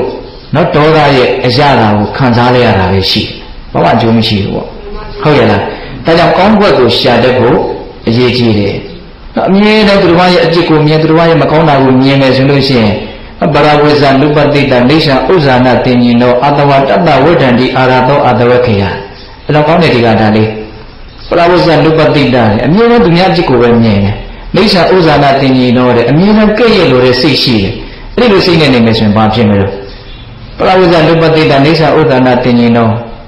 အာတဝတတ္တဝိဒန္တိအဲ့ဒီပုဂ္ဂိုလ်တဲ့အာတောတရားတိုးတယ်တဲ့အာရသောအတဝခေယနော်အတောအတောခေအဲ့ဟာဉာဏ်လို့ဆိုတဲ့နော်ဒီမဉဏ်ဘုံဉဏ်အတောခေယဉာဏ်ဆိုတာတော့နောက်ဆုံးရဟတမဉဏ်ကိုပြောတာပါဟုတ်လားအဲ့ဒီနိဗ္ဗာန်အတောတရားကိုဉာဏ်နိဗ္ဗာန်နဲ့လည်းအလွန်ဝေးတယ်ဒါကြောင့်ကောင်းကွက်ကိုရှာတတ်ဖို့လိုတယ်အဲ့ဒါကိုဆိုကြီးကမေတ္တာရခြင်းနဲ့ နော်မေတ္တာတရားနဲ့အေးချမ်းချမ်းနေခြင်းနဲ့ဆိုရင်ခန္တီခိုင်မာကောင်းကွက်ရှာမှမေတ္တာရမုတ်ချအေးချမ်းမေလို့အဲ့လိုရေးဟုတ်လားနောက်တတိယမေတ္တာရကလူလောကမှာလူသားတွေရဲ့တဏ္ဍာမှာတက်နေတဲ့အစိတ်တွေကိုဖြေဖို့အတွက်အစိတ်ဖြေခြင်းနှလုံးနော်တတိဖြစ်အောင်ဘာလို့မလို့အမှတ်မြဲတော့တတိပေါ်ရှင်ပြောအပ်တတ်ပြီနော်မေတ္တာဖြစ်အောင်ဘယ်လိုလုပ်မလို့ခန္တီခိုင်မာကောင်းွက်ရှာမှမေတ္တာရမုတ်ချအေးချမ်းပြီဟုတ်လားနောက်ဒီတတိနဲ့မေတ္တာရဲ့ နောက်အကျိုးကျေးဇူးလေးတူတူလေးပြောပြန်တယ်တယောက်တည်းပဲစွမ်းအင်အပြည့်နေလို့ပြီတတိဖြစ်နာနေနော်အများတကာဆက်ဆံရာမေတ္တာပါမအစဉ်ပြေဟောဒါလေးလည်းအလွန်နှစ်သက်စရာကောင်းလူလောကကြီးမှာနေနေကြပြီဆိုရင်တယောက်တည်းနေတဲ့အခါရှိမယ်ဘေးမှာလူတွေနဲ့နေတဲ့အခါရှိမယ်နှစ်မျိုးပဲဒါပဲတယောက်တည်းနေရင်နေမယ်ဒါမှမဟုတ်ကိုယ်ဘေးမှာလူရှိပြီးတော့နေရင်နေမယ် တယောက်တည်းနေတဲ့အခါမှာဆိုရင်တော့တတိလေးနဲ့နေနေအောင်ကြိုးစားတဲ့အဲ့ဒါမှအဆင်ပြေမယ်တဲ့နောက်ရှင်တောင်းတွင်းမြောက်တွင်းနဲ့တယောက်တည်းအကုသိုလ်များတတ်တယ်ပေါ့ဟုတ်လားအင်းတယောက်တည်းပဲစွန့်ရင်ပြီးနေလို့ပြီးတတိဖြစ်တာနေနော်အများတကဆက်ဆံရမေတ္တာဘာမှအဆင်ပြေတယ်ဟောအများနဲ့ဆက်ဆံပြီဆိုရင်တော့မေတ္တာမပါရင်အဆင်ပြေဘူးတဲ့နော်အများနဲ့ကလည်းပဲမကင်းနိုင်ကြဘူးနေဆုံးတယောက်နှစ်ယောက်ကတော့ရှိနေတာပဲလေဟုတ်တယ်မို့လား အဲအဲ့ဒီတယောက်နှစ်ယောက်လေးနဲ့အခုမတည့်ဘူးဆိုရင်တော့အဲ့ဒါဒုက္ခအကြီးကြီးရောက်ပြီလားမှတ်ပြီတော့အဲ့ဒါမေတ္တာအားနေလို့ပဝန်းကျင်နဲ့အဆင်မပြေတော့ဘူးဆိုလို့ရှိရင်ဟိုဘက်မှာသတိထားတဲ့လုပ်ငန်းရှင်ကလည်းအများကြီးထိခိုက်နေကိုယ်စိတ်ထဲမှာဒီဒေါသတွေနဲ့မကျေနပ်တာကိုတွေးနေရတာနဲ့မြင့်မြတ်တဲ့ဘက်ကိုမရောက်နိုင်တော့ဟုတ်ရဲ့လားဒါကြောင့်အများတကာဆက်ဆံရာမေတ္တာပါမအစဉ်ပြေနော်ဒါလေးလည်းပဲပြတဲ့တော့မှတ်ဖို့မလိုဘူးလားဗျာနော်တယောက်တည်းပင်ဆွမ်းရင်ပြီးနေလို့ပြီးတတိဖြစ်တာနေအ များတကဆက်ဆံရမေတ္တာပါမအစဉ်ပြေနောက်တော့ဗာဆက်ရေးပြန်တော့တတိရှိလို့မေတ္တာရှိလို့ရရှိမဲ့အကျိုးကျေးဇူးကိုနောက်ထပ်တစ်မျိုးထပ်ပြောပြန်တယ်တတိရှိတာတရားလက်ခံပွားများပြန်ဖန်ပန်ဆက်အောင်ရှုမှတ်လေကိုယ့်ကိုစောင့်တာသူ့ကိုပါမှန်စွာစောင့်နိုင်ပြီတဲ့ဟောတတိကလေးနဲ့နော်သူတော်ကောင်းတရားကိုသိအောင်ဒီတတိကိုပဲများများပွားမယ်ဆိုရင်ဆက်အောင်ပွားမယ်ဆိုရင်အဖန်ပန်ပွားများမယ်ဆိုရင်အဲ့ဒီပုဂ္ဂိုလ်ဟာ ကိုယ့်ကိုစောင့်တာသူ့ကိုပါမှန်စွာစောင့်နိုင်ပြီကိုယ့်ကိုယ်ကိုစောင့်ရှောက်ပြီးသားဖြစ်တယ်တဲ့တတိရှိလို့ရှိရင်ဒါလည်းမကဘူးတဲ့သူများကစောင့်ရှောက်ပြီးသားဖြစ်တယ်တဲ့ဟောတတိရဲ့အကျိုးကျေးဇူးအဲ့လိုလေးပြောနိုင်တာဒါကအကုန်လုံးဒီဘုရားဟောဒေသနာတွေနဲ့အညီဘုရားကဒါဆရာတို့ကြီးကဘယ်တုတ်တန်လေးကိုကြည့်ပြီးတော့ပြောတာဘယ်တုတ်တန်လေးကိုကြည့်ပြီးတော့ပြောတာလို့ပြောနေဝေဖန်နေရှင်းနေမှာဆိုလို့ဟုတ်လားအေးအဲ့တော့အော်တတိရှိတာတရားလက်ခံပွားများပြန်ဖန်ဖန်ဆက်အောင်ရှုမှတ်လေကိုယ့်ကိုစောင့်မှသူ့ကိုယ်ကမှန်စွာစောင့်နိုင်ပြီ ဟုတ်လားတတိတရားလေးကိုစက်နေအောင်ကြိုးစားရင်ကိုယ့်ကိုယ်ကိုစောင့်ရှောက်ပြီးသားဖြစ်တယ်ဘယ်လိုကစောင့်အောင်ဆိုတတိကစောင့်ရှောက်ပေးတာမနေတော့ကတတိကိုမျိုးဆောင်တရားဆိုပြီးပြောရတာတော့ရှိဘူးလားရှင်နော်ဒီခန္ဓာကိုယ်ကိုအကုသိုလ်မကောင်းတဲ့စိတ်တွေမဝင်အောင်အကောင်းဆုံးကာကွယ်စောင့်ရှောက်ပေးတာဒီတတိပဲဒါကိုရည်ရွယ်တာဟုတ်လားမကောင်းတဲ့စိတ်တွေမဖြစ်အောင်စောင့်ရှောက်ရင်မကောင်းတဲ့အကျိုးဆက်တွေမဖြစ်အောင်လည်းစောင့်ရှောက်ပေးတာဖြစ်တယ်တကယ်တည်းကနော်အကုသိုလ်တွေကြီးလို့ဘေးတွေဒုက္ခတွေကရောက်ကြတာအကုသိုလ်မဖြစ်အောင်စောင့်ရှောက်ခြင်းဒီဒုက္ခမဖြစ်အောင်စောင့်ရှောက်ခြင်းပဲ ဟုတ်လားဒါကြောင့်တချို့ဘေးတွေအန္တရာယ်တွေကင်းအောင်ကြိုးကြဖတ်ကြတာတွေရှိတယ်ကြိုးကြဖတ်ကြတာလည်းကောင်းပါတယ်ဟုတ်လားဒါပေမဲ့သူ့တက်ပူပြီးတော့လေးနေတဲ့ရှုတော်ကကြည့်မယ်ဆိုရင်အကုသိုလ်မဖြစ်အောင်စောင့်ရှောက်တာကဟိုကောင်းမယ်လို့ထင်တယ်မကောင်းတဲ့စိတ်မဖြစ်အောင်စောင့်ရှောက်မကောင်းတဲ့အကျိုးတွေဝင်လာကြအကြောင်းမရှိဘူးဟိုတော့အလွန်ဆိုးဝါးလုပ်ခဲ့ဘူးရင်တော့လည်းပဲတစ်မျိုးပေါ့ဟုတ်လားတို့တော်လည်းပဲတုံးတုံးအကုသိုလ်ကဒီဘဝမှာအကုသိုလ်မဖြစ်အောင်ကုသိုလ်များအောင်ကြိုးစားရင်ပြီးတော့သွားတာတွေလည်းရှိတယ်ဟုတ်ရဲ့လား ဒါကြောင့်ကိုယ့်ကိုယ်ကိုစောင့်ရှောက်တယ်ဆိုတာဘယ်လိုစောင့်ရှောက်လဲဒီသတိကပဲစောင့်ရှောက်တာ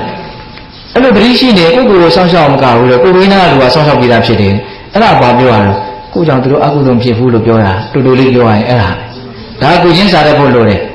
တော့ကိုကြောင့်သူများအကုသိုလ်မဖြစ်ဖို့ဆိုတဲ့စိတ်ကူးလေးရှိနေတယ်အာငါနေတာပဲတို့တူတူတွေးပြီးတော့အကုသိုလ်ဖြစ်တာပဲတက်နိုင်မှမလဲလို့မစင်သားနဲ့ဟုတ်လားကိုလည်းပဲသူများကြောင့်အကုသိုလ်ဖြစ်ရတာတွေမရှိဘူးလားအာဒီလိုများတော့အကုသိုလ်ကိုများပါတယ်ဟောချို့ပြောရတာတောင်ရှိတယ် အဲ့လိုဆိုရင်သူ့ကိုတော်တော်မကျင်တတ်ဘူးမကျင်တတ်ဘူးကိုကြောင့်သူများအကုသိုလ်ဖြစ်ရင်လည်းသူများကိုယ်ကိုကျင်တတ်မှာမဟုတ်ဘူးဟုတ်တယ်မို့လားအဲ့တော့ဟိုသူ့ကြောင့်ကိုအကုသိုလ်မဖြစ်အောင်ကိုယ့်ကိုယ်ပဲစဉ်းစားမယ်သူ့ကိုကိုပြုပြင်လို့မရကိုကြောင့်သူအကုသိုလ်မဖြစ်အောင်ကိုယ့်ကိုယ်ကိုပြင်မယ်ဆိုရင်မရဘူးလားရတယ်အဲ့တော့ကိုဟိုနေပင်လေးကိုကိုနားလည်ဖို့လိုတာပေါ့ကိုလုပ်လို့ရတာကဘာလဲကိုလုပ်လို့မရတာကဘာလဲဒါကိုသိရမှာပေါ့ဟုတ်တယ်မဟုတ်လားအင်းဒါကြောင့်တတိရှိလို့ရှိရင် ကိုယ့်ကိုစောင့်မှာသူ့ကိုပါမှန်စွာစောင့်နိုင်လေတဲ့တတိရဲ့ကြိုးကျေးဇူးဟုတ်လားနောက်မေတ္တာရဲ့ကြိုးကျေးဇူးဘာပြောပြန်လဲသီခန္တနာဝမ်းမြောက်ညာပွားများမေတ္တာဝေသူ့ကိုစောင့်ရှောက်ကိုယ်ကုံမြောက်ပပြောက်ဘေးရန်နေတဲ့ဟောကောင်းလိုက်တာနောက်ဒါလေးလေနော်သီခန္တနာဝမ်းမြောက်ညာပွားများမေတ္တာဝေနောက်မေတ္တာတက်ဒီလောကကြီးကိုလူသားတွေရဲ့ပေါ်တတ္တဝါတွေရဲ့ပေါ်မှာဝေမျှနိုင်မယ်ဆိုရင်ဒါတိကံတဲ့စိတ်ရှိရမယ်တနာတဲ့စိတ်ကရုဏာရှိရမယ် မုရိဒဝမ်းမြောက်တဲ့စိတ်ရှိရမယ်ဒါတွေကိုအခြေခံပြီးတော့တဲ့မေတ္တာတက်ဒီမြန်ဝေနိုင်မယ်ဆိုလို့ရှိရင်သူ့ကိုစောင့်ရှောက်ကိုယ်ကိုမြောက်ပပြောက်ဘေးရန်လုံရပြီ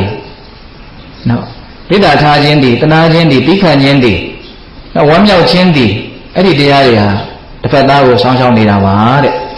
ကိုယ်အဲ့လိုထားလို့ရှိရင်သူ့မှာကိုယ့်ရဲ့မေတ္တာတဲ့ရိုက်ခတ်မှုရှိတဲ့အတွက်ကြောင့်သူ့စိတ်ထဲမှာအနည်းဆုံးကိုယ့်အပေါ်မှာတော့သူဟာနော် ကုသိုလ်ကောင်းမှုတိုးနိုင်တယ်အကုသိုလ်ကိုကြောင့်သူမဖြစ်ဘူးပေါ့အဲ့ဒါဘာလို့လဲတော့ဓာတ်ရိပ်သူ့ကိုစောင့်ရှောက်တာတနည်းအားဖြင့်လည်းပဲကိုယ့်ရဲ့မေတ္တာရဲ့စွမ်းရည်တတိကြောင့်သူအေးချမ်းမှုကိုထိုက်လျော်လည်းရနိုင်တယ်ဒါကြောင့်တချို့ဆရာတော်ကြီးတွေကိုဆရာတော်ကြီးရဲ့မေတ္တာဓာတ်ခံယူပါတယ်ဗျာတို့တို့မေတ္တာပို့ပေးပါလို့ပြောတာကသူမေတ္တာဓာတ်ကြောင့်ကိုယ်ချမ်းသာသေးတယ်လို့ပြောတာဒါကတော့လူတွေကအရာရာသူများကိုအားကိုးခြင်းတဲ့စိတ်ကြီးကလည်းပဲလွှမ်းမိုးနေတယ်လို့ထင်ပါတယ်သူများရဲ့မေတ္တာတောင်ကိုယ်ဒီကိုရောက်လို့ချမ်းသာမယ်လို့ယုံကြည်တယ်ဆိုရင်အဲ့မေတ္တာကိုယ့်ကိုရအောင်လုပ်လေ ဟုတ်တယ်မို့လားအတုဒီဖြစ်သွားတဲ့မေတ္တာကောင်းဘူးလားအဲ့ဒါပိုတောင်ကောင်းလေသူများတရားရပြီးတော့မှတစ်ချက်အရှင်ရိုက်ပြီးတော့ကုဋီရောက်လာမဲ့အနေထားနဲ့ဆိုင်ကိုယ်စိတ်ထဲကိုယ့်ကိုဖြစ်အောင်လုပ်ပေါ့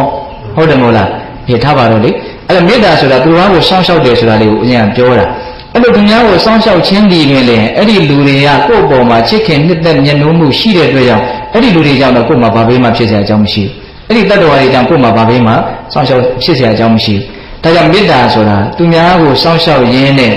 ကိုယ့်ကိုပါလုံခြုံအောင်စောင့်ရှောက်သွားတဲ့တရားတတိဆိုတာကတော့ကိုယ့်ကိုယ်ကိုစောင့်ရှောက်ရင်းနဲ့သူများကိုမကောင်းတာတွေမဖြစ်အောင်စောင့်ရှောက်သွားတဲ့တရားအပြန်အလှန်ပဲတရားဒီတတိနဲ့ဒီမေတ္တာရဲ့တော့အကျိုးကျေးဇူးတွေကအလွန်တရာမှကြီးကျယ်တယ်ပေါ့ဟုတ်လားအဲ့ဒါကိုနေကုန်းကျုပ်အစိတ်ကင်းကွာလူချမ်းသာကောင်းစွာရနိုင်ပြီတဲ့နော်လောဘဒေါသမောဟအစိတ်တွေကင်းမှနော်ချမ်းသာမှုကိုရနိုင်မယ်ပေါ့ အဲ့ဒါကိုရဖို့အတွက်တတိနဲ့မေတ္တာကိုအသုံးပြုရမယ်ပေါ့ဟုတ်လားဒါလေးကိုပြန်ပြီးတော့အစားဆုံးလေးရွတ်လိုက်ပါဦးမယ်တတိမေတ္တာဤနှဖျာလူရောအစိတ်ဖြေ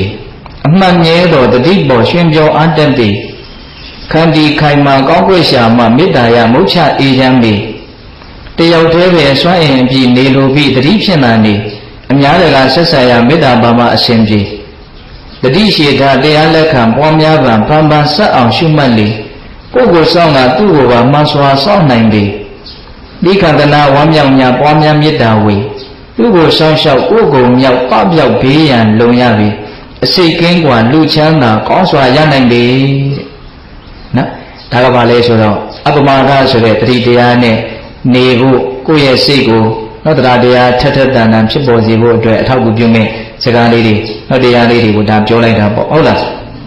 အဲ့တော့နောက်ထပ်နေကုန်းချုပ်ဦးဇင်းတို့ဗာဆက်ပြောရင်တော့ဆိုတော့ဒီနေ့တော့ဆောင်းပုတ်ကလေးတွေလင်္ကာလေးတွေရွတ်နေတာလည်းပဲပြီးမယ်ဟုတ်လားဟိုဦးဇင်းတို့ဝိသုဒ္ဓံဆိုဘုရားကြီးရေးခဲ့တဲ့လင်္ကာလေးရှိတယ်အဲ့ဒါကိုဓမ္မစီရဆရာကြီးဦးထေးလိုင်ပြန်ပြီးတော့မုံမှန်ထားတဲ့လင်္ကာလေးမကြခဏလည်းပဲဦးဇင်းတို့တော့ရွတ်ဆိုတဲ့အလေးထားရှိပါတယ်အဲ့ဒီလင်္ကာလေးလည်းကောင်းတယ်ပါပြောတော့ရန်သူဝိုင်းထားထိုယောက်ျားကပြေးသွားဖို့ရလမ်းပေါက်တာလည်းပြေးမထွက်လမ်းတွက်မရှိဘူးလူတယောက်ခရီးသွားတယ် ဆိုရတဲ့ရန်သူတွေရဲ့ဝိုင်းရန်နှိမ့်ဆက်မဲ့အနေအထားကိုကြုံရတယ်အဲ့ဒီမှာသူကြည့်လိုက်တဲ့အခါကျတော့ရန်သူတွေဝိုင်းနေပြီမလို့အဲ့ဒီရန်သူတွေရဲ့လက်ကလွတ်အောင်ပြေးဖို့အတွက်လမ်းပေါက်တာနေတယ်ဆိုတာကိုလည်းသူတွေ့ရတယ်ဒါပေမဲ့သူပြေးမထွက်လို့လူတို့တစ်ခုတွေကသူ့ကိုနှိမ့်ဆက်သွားတယ်ဆိုရင်ဒါပြေးမထွက်တဲ့သူ့ရဲ့အပြစ်တန်ဖြစ်တဲ့လမ်းရဲ့အပြစ်မဟုတ်ဘူးလို့ဒီလိုပြောတာဒါဆိုလိုချင်တာကဒုက္ခငြိမ်းရာကိုရောက်စေတတ်တဲ့ဒီတိလသမารိပညာမဂ္ဂင်၈ပါးဆိုတဲ့အကျင့်လမ်းစဉ်လေးထင်ထင်ရှားရှားရှိတယ်။ ဇာကဒေါသမောဟကိလေသာယံသူတွေကိုယ်ကိုဝိုင်းနေတာမှန်တယ်။သို့တော့အဲ့ဒီယံသူရဲ့လက်ကလွတ်အောင်ပြေးစရာလမ်းလည်းရှိနေတာမှန်တယ်။လမ်းရှိနေတာကိုသိပါလဲနဲ့မပြေးဘူးဆိုရင်ဒါသူတော်ကောင်းတရားရဲ့အပြစ်မဟုတ်ဘူး။တက်တက်မိုက်မဲတဲ့ကိုယ့်ရဲ့အပြစ်တန်ဖြစ်တယ်လို့ဆိုလိုတာ။နော်ဒါကိုဆိုကြီးကရေးတာ။ယံသူဝိုင်းထားထိုယောက်ျားကပြေးသွားဖို့ရလမ်းပေါက်တာလည်းပြေးမထွက်လမ်းတွယ်မရှိသေး။ဒါဥမာတစ်ခု။နောက်ဥမာပါပြောလို့ဆိုတော့မစင်လူလျင်အေးကြည်လင်သည့်ရေစဉ်ရှိလျင်မဆေးခက်ရေတွက်မရှိလေ အစဉ်အမြစ်ကြီးတွေလိုးတယ်လက်တို့ခြေတို့မျက်နှာတို့လိုးတယ်ဟုတ်လားအဲ့လိုလိုးပြီဆိုလို့ရှိရင်နန်းစောနေမယ်အလွန်ရှက်စရာကောင်းမယ်မတန်ရှင်းဖြစ်မယ်အဲ့ဒီလိုအနေထားမျိုးနဲ့လူရတဲ့ကိုဘယ်သူမှမသွားနိုင်ဘူးနော်မစင်ကြီးကြီးလို့ရင်တော့တေချာပေါက်ဆေးရလိမ့်မယ်ဗျာရေမရှိရင်လည်းပဲအဝတ်တော်ဘာလို့လဲတုတ်ရလိမ့်မယ်အကောင်းဆုံးကတော့အဝတ်တော်ဘာလို့လဲတုတ်တော့တော့အနံ့ပြောင်းမှာမဟုတ်ဘူးဟုတ်လားအဲ့ကျတော့ဘာနဲ့ဆေးရအောင်ဆိုရင်ရေနဲ့ပဲဆေးရရေပဲကောင်းဆုံးပဲဟုတ်လား မစင်လူးလေအေးကြည်လင်တည်ရေစဉ်ရှိလေမဆေးခက်ရေတွဲမရှိဘူးအဲ့လိုပဲတဲ့ရာဂဒေါသမောဟဒီဟုသောကိလေသာမစင်တွေပေးခြင်းနေလို့သူတော်ကောင်းတွေရဲ့အမြင်မှာကိုဟာမတန်ရှင်းဘူးနန်းစော်နေတယ်အပုပ်နဲ့နေထွက်နေတယ်ဟုတ်လားအဲ့ဒီအနေအထားမျိုးမှာတကယ်လို့ဒါကိုတန့်ရှင်းအောင်စေးကြောခြင်းလေဆိုရင်မဂ္ဂင်ရှင်ပါသူတော်ကောင်းတရားအတ္တိထားတဲ့လုပ်ငန်းစဉ်ဒီဟုသောရေစဉ်ရေအေးရှိတယ် မဆေးဘူးဆိုရင်ဒါရေရဲ့အပြစ်မို့မဆေးတဲ့ကိုယ့်ရဲ့မိုင်မဲတဲ့ကိုယ့်ရဲ့အပြစ်ပဲလို့သူကအဲ့လိုပြောတာနော်မဂ္ဂင်ရှင်ပါအချင်းမြတ်တရားတတိထားတဲ့အပမဒတရားဒီလုပ်ငန်းစဉ်ကိုနောက်လမ်းနဲ့ဥမာပေးတယ်အခုရေနဲ့ဥမာပေးတယ်နှမျိုးနောက်တစ်မျိုးလာနေတယ်အော်နှင့်ငိုကြီးယောဂတီးလျက်လူလဲပြာတိနာမချိတော်တတ္တိမြင်မြောတမားတော်နဲ့ဆေးကြော်ရှိလျက်မစားခက်ဆေးတွယ်မရှိလေဒီဥမာလည်းလွန်ကောင်းပါလေဟုတ်လား အော်ဟစ်ငိုညီယောဂတီးလျက်လူလေးပြာတိနာမချိတော်တတ္တိမြင်မြောတမားတော်နဲ့ဆေးကြော်ရှိလျက်မစားခက်ဆေးတွယ်မရှိလေဒီလိုကရှင်းပြကြရမလို့လောက်အောင်ကိုရှင်းတယ်ကောင်းလိုက်တာဆောင်းဖို့စီတဲ့လူကဟုတ်လားတခါလေဆောင်းဖို့ကလေးတွေစီဖို့ကြိုးစားကြည့်တယ်နော်နှစ်ဖူးကချွေးတောင်ဆို့လာတယ်ကောင်းကောင်းဖောင်ဖို့တပုတ်ရဖို့မလွယ်ဘူးဒါလည်းသူ့ပါရမီနဲ့သူလာတာဟုတ်လားနော်သူ့ပါရမီနဲ့သူလာတာမလွယ်ဘူးအဲ့တော့ဒါပါပြောတာတော့ယောဂဗျာနှိမ့်ဆက်လို့ အပြင်းထန်အော်ဟစ်နေရတယ်အပြင်းထန်ဒုက္ခကိုတွေ့နေရတယ်ဒီယောဂကိုမုတ်ချပြောင်းမဲ့ဆေးလည်းရှိတယ်ဆေးဝါးကိုစနစ်တကျဒီလတကျညွှန်ပြပေးမဲ့ဆရာလည်းရှိတယ်ဒါကိုကဆရာကိုလည်းအာကိုရကောင်းမှမသိဘူးဆေးကိုလည်းသုံးရကောင်းမှမသိဘူးဒီယောဂရဲ့တံကိုပဲပိန်လိမ်ပြီးတော့ပေးတည်ပြီးတော့ခန်းနေတဲ့ဆိုရင်ဒါသူ့အဖြစ်ပဲလို့ဒီလိုပြောတာဟုတ်လားဘယ်နှမျိုးတော့ဥမာ၃မျိုးဟုတ်လားအဲ့လိုပဲတဲ့ အပေဘုံတို့မချွတ်ပုံမြည်စွတ်စွတ်တနာကိလေသာကိုမြစ်ပါပဲဖြတ်အပြစ်တတ်ရန်သမထဥပဒနာတရားရှိတုံညာလေးမကွာနိုင်အားဗျာပါများတရားအတွက်မရှိလေဒါကလူရင်အတိပဲပေါ့ဟုတ်လားအပေခွင်တို့မချွတ်ပုံမြည်စွတ်စွတ်တနာကိလေသာကိုနော်ရေးတာတော်တော်ကောင်းပါနော်ကိလေသာတွေဖြစ်တယ်ဆိုတာကအခုလုံးလုံးစေပူလောင်ဆင်းရဲယုံမြမကပဲနဲ့ထွတ်တဲ့အစာပေါင်းများစွာဆင်းရဲမဲ့အပေလေးပါးကိုပို့နိုင်တဲ့နော်ဓာတ်တဘာဝဒီကိလေသာထဲမှာရှိတယ်တဲ့ အပေခွင်တို့မချွတ်ပုံမြည်စွတ်စွတ်တနာကိလေသာကိုတခါတလေကိုယ်မှာမကောင်းတဲ့စိတ်တွေမြင်လို့ဖြစ်လို့ဩဒါတွေကိုငါပယ်မှာပဲလို့ငါဖြစ်အောင်လုပ်မှာပဲလို့စိတ်ကူးတဲ့အခါမှာဒီမကောင်းတဲ့စိတ်တွေကလောလောဆယ်ပူလောင်စီတယ်ဆင်းရဲစီတယ်ပင်ပန်းစီတယ်လို့လည်းပဲစဉ်းစားတတ်ရမယ်အဲ့ဒီလောက်နဲ့မလုံလောက်သေးဘူးနောက်မှလည်းပဲအလွန်ဆိုးဝါးတဲ့ဒုက္ခတွေကိုဆက်လက်ပြီးတော့ရှိကြနေစေလိမ့်မယ်လို့ဒီလိုလဲတွေးတတ်ဖို့လိုတယ်အဲ့လိုတွေးရမယ်လို့လည်းမြတ်စွာဘုရားဟောတယ် အဲ့လိုတွေးလိုက်လို့ရှင်ဘာဖြစ်တော့အဲ့လိုတွေးလိုက်တဲ့အခိုက်အတန့်မှာကိုပဲအဲ့ဒီလောဘဒေါသမရှိတော့ဒါလည်းပြီးစဉ်းစားကြည့်ဒါမြတ်စွာဘုရားဟောထားတာရှိတယ်ဗျဥဒင်တုတ်တန်နာမည်တော့မေ့နေတယ်နော်ဘုရားလောင်းဘဝတုန်းကတဲ့ဘုရားလောင်းဘဝဆိုတာဟိုးဝေးကွာတဲ့ဘဝကိုပြောတာမဟုတ်ဘူးဘုရားဖြစ်ခါနေနော်တော့ထွက်လာပြီးတဲ့နောက်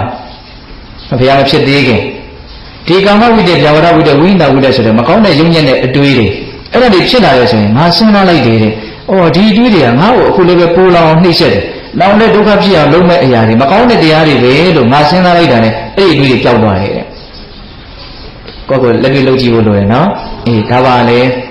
အပေခင်တို့မချွတ်ဖို့မြည်စွတ်စွတ်တနာကိလေသာကိုမြစ်ပါပေဖြတ်အပြီးသက်ရန်ဝိပဿနာတရားရှိတုံညာလေးမပွားနိုင်အားဗျာပါများတရားအတွက်မရှိလေ။သူတော်ကောင်းတရားရဲ့စွမ်းရည်ကိုပြောတာအဲ့လောက်ဆိုးတဲ့ကိလေသာကိုပယ်နိုင်တဲ့အစွမ်းသူတော်ကောင်းတရားမှာရှိရင်ပေါ့ဟုတ်လား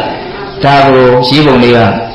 မပွားနိုင်အားဗျာပါညာတရားအတွက်မရှိလေကိုတွေးနေကိုကိုဟာကိုအဖြေတွေကတလွဲတွေရနေတာလုံအောင်မလုံအောင်မဆိုတဲ့အဖြေမှမရဘူးအဲမတတ်နိုင်သေးပါဘူးဒီနေရာတွေပဲနော်အရေးကြီးနေပေါ့စိတ်ထဲမှာဒါကိုရတဲ့အဖြေကိုလောက်တာပဲလေဒါဥယျာဉ်တို့လည်းဒီတိုင်းပဲပြည့်တဲ့တို့လည်းဒီတိုင်းပဲနောက်ကိုရတဲ့အဖြေတိုင်းကိုလုံးနေကြတာဒါအဖြေကလည်းကိုထုတ်တဲ့အတိုင်းကိုရတာပဲ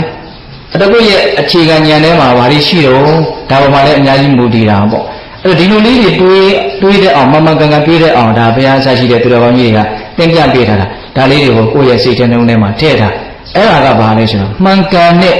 အဖြေတရက်ကိုရနိုင်တယ်မှန်ကန်တဲ့အဖြေကဘာလို့ငါသတိနဲ့ကိုနေမှဖြစ်နေဆိုတာဒါပဲလူရင်းကတော့ဒါပဲရိတ်တာကိုသွားအောင်မယ်ဆိုတော့အတိုင်းထက်လွန်ကောင်းတယ်ဒါတို့တော့တတ်တမမလုံနိုင်တာပေါ့နော်အေးမသွားနိုင်နေဘူးဆိုရင်လည်းငါတတ်နိုင်တယ်ညအိမ်မှာနော်ဒီဟာရင်ငါမကင်းကွာနိုင်လေလို့လုံနေရတယ်အဲ့ တော့အကောင်းဆုံးကတော့လုံတဲ့တာကိုလုံတာအကောင်းဆုံးပေါ့ဒါပေမဲ့ဒီခါလေးလုံတဲ့တာကိုကိုမလုံနိုင်တာတွေရှိတယ်လုံနိုင်တဲ့လောက်ကလေးစပြီးတော့လုံဖို့လည်းမလိုဘူးလားလိုရဲ့နော်လုံချင်တဲ့လောက်ကြီးမလုံနိုင်သေးခင်မှာလုံနိုင်တဲ့လောက်ကလေးစပြီးတော့လုံဖြစ်ဖို့လိုတယ်ဒီခါလေးလူတွေကအလွန်အံ့ချော်တယ်ပေါ့အများကြီးမှန်းထားပြီးတော့ရတဲ့နည်းနည်းလေးကိုမယူမယူအများကြီးလည်းမရအောင်နည်းနည်းလေးလည်းမရောက်ပါမရပါရောက်ဟုတ်တယ်မဟုတ်လားဘယ်တော့ကြတော့ဘာတွေလုပ်လိုက်မယ်ဘယ်တော့ကြတော့ဘလို့ကိုလုပ်ပြလိုက်မယ်အဲ့ဒါကဘယ်တော့မှမသိ ဟုတ်လားလောလောဆယ်ကတော့လွတ်သွားပြီလောလောဆယ်လွတ်သွားပြီနော်တရားကအလွန်သိမ်မွေ့ပါတယ်ဟုတ်လားအဲ့လိုအနာဂတ်မျှော်လင့်ချက်တွေနဲ့လည်းပဲကိုယ်စိတ်ကကိုယ့်ကိုမလုပ်ဖြစ်အောင်လှည့်စားတတ်တယ်ဟုတ်လားအနာဂတ်မှာလုပ်မယ်ဆိုရင်လည်းလုပ်ပါမလုပ်ရဘူးမဟုတ်ဘူးအနာဂတ်ကအခုသွားလုပ်လို့ရတဲ့ကိစ္စမဟုတ်ဘူးအခုလုပ်ရမှာကအခုကိုလုံးမရဟုတ်လားဒါကြောင့်လှုပ်ချင်သေးပေါက်လာပြီဆိုရင်လို့ကတော့အဲငါအနာဂတ်ကိုပြောနေတာဒါအဲ့ကြတော့လည်းလှုပ်ပေါ့ဟုတ်လားလှုပ်ချင်သေးပေါက်လာရင်အခုကိုလှုပ်လိုက်လို့မရဘူးလား ရတယ်နော်လုံရင်းတန်းတန်းနဲ့ကိုပဲသတိကပ်ပြီးတော့ထားလိုက်ကိုလှုပ်နေတဲ့လုံလက်စအလုံရင်းတန်းတန်းနဲ့ကိုသတိကပ်ပြီးတော့ထားလိုက်လို့ရတယ်ကလှုပ်နေတဲ့လုံလက်စကရက်ထားလို့ရမယ်ဆိုရင်ကရက်ပြီးတော့အဲ့ဒီအချိန်မှာနင်းနေတဲ့ဣရိယာပုတ်လေးနဲ့ကိုနှလုံးသွင်းလိုက်ဘုရားကနဲ့ကိုသွားကြမလို့သေးဘူးပေါ်ပြီးလုံးနိုင်မယ်ဆိုရင်လည်းအတိုင်းထက်လွန်ကောင်းပါတယ်ဟုတ်လားတိုးတော့ကိုကကားစီးရင်နဲ့အမှတ်ရတယ်ဆိုရင်ကားစီးရင်လုပ်ပေါ့စကားပြောရင်အမှတ်ရတယ်ဆိုရင်လည်းအရင်ကြီးတဲ့စကားဆိုရင်ရက်ထားလိုက်တော့ အာငါဆိုတော့မှားသွားတာငါအဲ့တိုင်းနေရမကောင်းကိုကကိုကိုကကိုပြောတာတော့သူကတော့တော့ပြောနေလို့ဖြစ်မှာမဟုတ်ဘူးဟုတ်လားအေးအဲ့ဒါကိုကကိုအချိန်ကလေးတတ်ပြီးတော့နေလိုက်ပေါ့မရဘူးလားညာနော်ကိုလှုပ်ချင်တယ်ဆိုရင်အကုန်လုံးကိုယ့်လက်ထဲမှာပဲရှိပါတယ်ဒါကတကယ်တန်ဖိုးထားမယ်ဆိုရင်တော့လှုပ်ဖြစ်အောင်ဒီညာကကိုယ့်ကိုအမျိုးမျိုးနော်နီလန်းနေပေးသွားမယ်ကိုယ့်ကိုအစီအစဉ်တွေကြဖြစ်အောင်လုပ်ပေးသွားမှာပဲဟုတ်ရဲ့လားအေးဒါကြောင့်ဒီလင်္ကာလေးလည်းပဲဥစဉ်ကသဘောကျလို့ပေးတယ်လို့ရုပ်ပြတာဟုတ်လား အပေခွင်တို့မချွတ်ပွမီစွစွတနာကိလေသာကိုမြစ်ပါပဲဖြတ်အပြည့်တက်ရန်တမထဥပဒနာတရားရှိတုံညာလေးမပွားနိုင်အားဗျာပါများတရားအတွက်မရှိလေတဲ့အကိုပြစ်တွေမဖြစ်ရလေကိုပြစ်ဖြစ်ရင်ကိုပဲခံရမယ်ပေါ့ဟုတ်လားအေးနောက်ဆုံးဏီကုန်းကျုပ်လင်္ကာကတော့ဦးဇင်းတို့မင်းကုန်းဆော်ကြီးရဲ့လင်္ကာဒါကြတော့လူတိုင်းရမလို့ထင်ပါတယ်ဟုတ်လားယုံနာဓမ္မသင်္ခါရတို့ကိုကဤပုံဖြစ်လို့တုံလဲ တဖုံစင်ခွဲသူတည်းဖြင့်ဖောင်းလွဲတတ်စွာဓမ္မရာကိုပညာဆက်ခုညှော်ထောက်ရှု၍ယခုပင်လည်းမအိုခင်ကကြိုတင်ကောင်းမှုကြိုးစားပြုလို့ယခုပင်လည်းမနာခင်ကကြိုတင်ကောင်းမှုကြိုးစားပြုလို့ယခုပင်လည်းမသေးခင်ကကြိုတင်ကောင်းမှုကြိုးစားပြုလို့ယရုချိန်ထောက်သေခြင်းရောက်မှချုပ်မြောက်ခန္ဓာတေဘိငါဟုဤချိန်ရောက်မှချုပ်မြောက်ခန္ဓာတေဘိငါဟုမရဏခရင်ရှင်သေမင်းနဲ့မိသိအဖွဲချင်းအချက်တည်တစ်စက်ကမှမရှိရဘူး အပ္ပမဒေနတမ္ပါရိထဘုရားစကားလိုက်နာပွားသည်တရားလက်မလွတ်စေနဲ့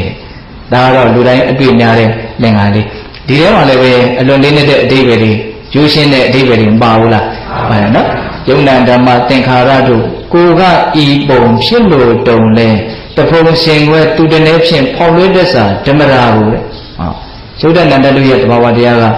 ကိုယ်လိုဆန္ဒနဲ့အမြဲတမ်းထပ်တူထပ်ကြဖြစ်နေမှာမဟုတ်ဘူး နောက်တခါတလေလေးထပ်တူတာတော့ရှိကောင်းရှိမယ်ပေါ့များသောဖြင့်တော့ကိုဖြစ်ချင်တာနဲ့တမျိုးစီကြီးပဲသူကဖြစ်ပြသွားတာပဲများပါတယ်ဒါကလည်းပဲကိုယ်သောဌာနကိုဟောဆန့်ကျင်ကောက်ွက်ပြီးတော့တမင်ကန့်လန့်တိုက်ပြီးတော့ဖြစ်ပေါ်တာမဟုတ်သူဖြစ်ပြရှိတဲ့အကြောင်းတိုင်းဖြစ်သွားတာဟုတ်လားဒါကိုနားလည်ဖို့လိုတယ်နော်ယုံနာဓမ္မသင်္ခါရတို့ကိုကဤပုံဖြစ်လို့တုံတဲ့တပုံစင်ကွက်သူတည်းဖြင့်ဖောက်တဲ့တစ္ဆာဓမ္မရာကိုဒါကွာသာတဘာဝတရားတို့ရဲ့ဓမ္မရာပဲတဲ့သူဖြစ်ခြင်းတိုင်းဖြစ်နေတာကိုသာတဘာဝတရားတို့ရဲ့ဓမ္မရာပဲ ဒါကိုကောင်းကောင်းနားလည်ရမယ်ပေါ့ဆိုလိုတာက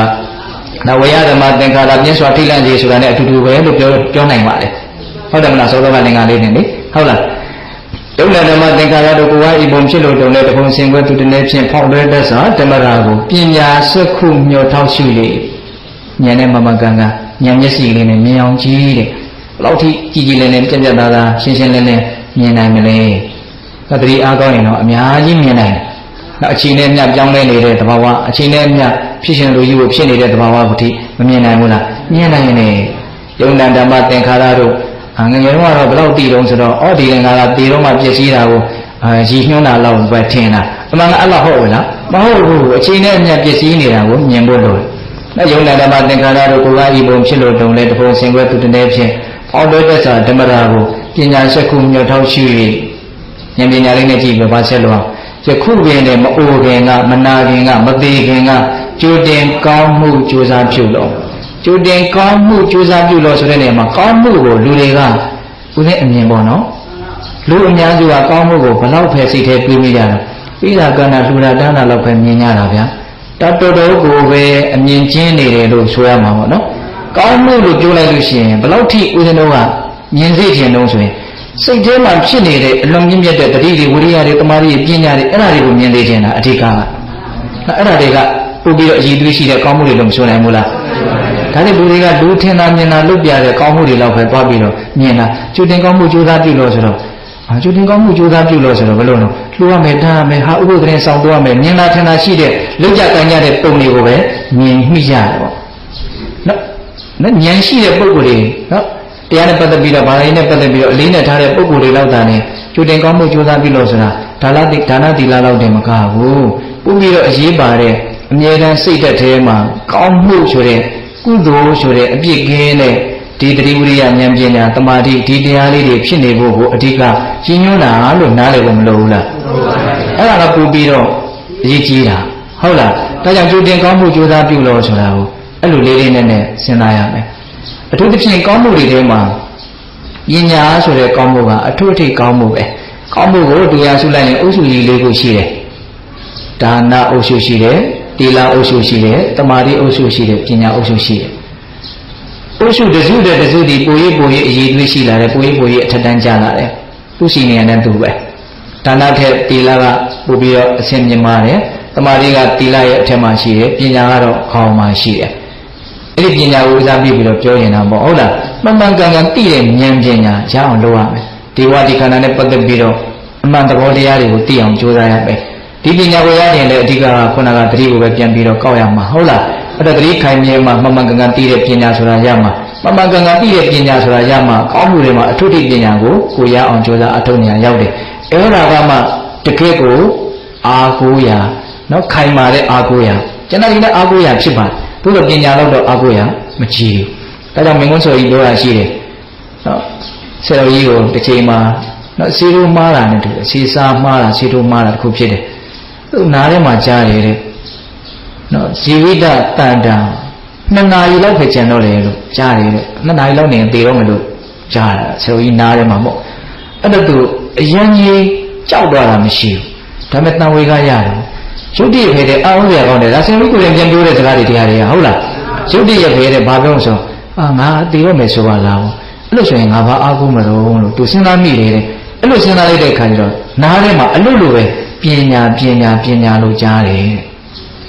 သိလားအဲ့ဒီကစတော့ဆိုကြီးကတော့သင်္ခါရတရားတွေဟာမတည်မြဲဘူးသတိရင်တရားဆိုတာအချိန်ကြီးကြုံနိုင်တယ်ဒါကြောင့်မိမိရဲ့ကြိုးစီပွားသူတော်ရဲ့ကြိုးစီပွားကို အခုချိန်ပဲကြိုးစားအထောက်ကြဆိုတဲ့အဆုံးအမကိုမပေးရင်တာဝန်ကြီးတယ်လို့တော့မခံစားရဘူးတဲ့အဲ့ဒီအဆုံးအမကိုသူအမြဲတမ်းပေးတယ်ကာထာလေးတစ်ခုလည်းရေးတယ်အဲ့ဒီလင်္ကာလေးကအဲ့ဒီကာထာလေးကနေပေါက်ခွာလာတဲ့လင်္ကာလေးပဲဒါကဆက်ဆက်မှုရှိတာလေးကိုအញ្ញံပြောပြတာဟုတ်လားဒါကြောင့်ယုံနာဓမ္မသင်္ခါရတို့ကိုကဤပုံဖြစ်လို့တော်လဲတခုစင်ွဲသူတည်းဖြင့်ဖောက်လို့တဲ့ဆိုဓမ္မရာကိုပညာစက္ခုမြော်တောင်းရှု၍ယခုပင်လည်းအိုခင်ကယခုပင်လည်းမနာခင်ကယခုပင်လည်းမသေးခင်ကကျိုးတင်ကောင်းမှုကြိုးစားပြုလို့ တော့ကျိုးတင်ဆိုတာဘာပြောတာလဲလို့တာတော့ခုလို့ရတာပဲဘလို့ဘယ်နဲ့ဘယ်နဲ့ကြောင့်ဒီဟာကိုကျိုးတင်လို့ပြောတာကစဉ်းစားတော့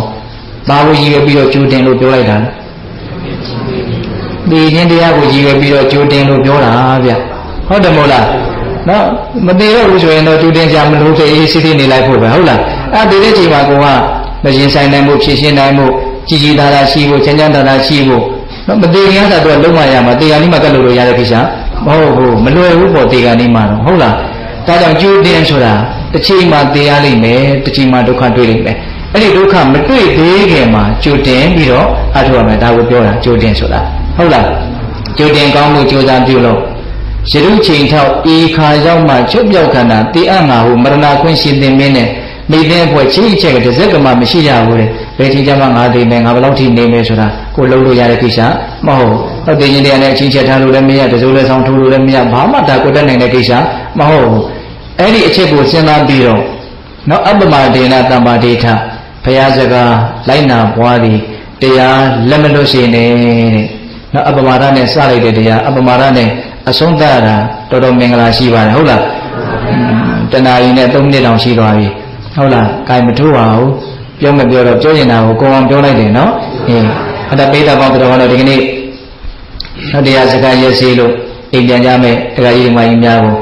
နော်အကောင်းဆုံးမြတ်စွာဘုရားရဲ့အဆုံးအမ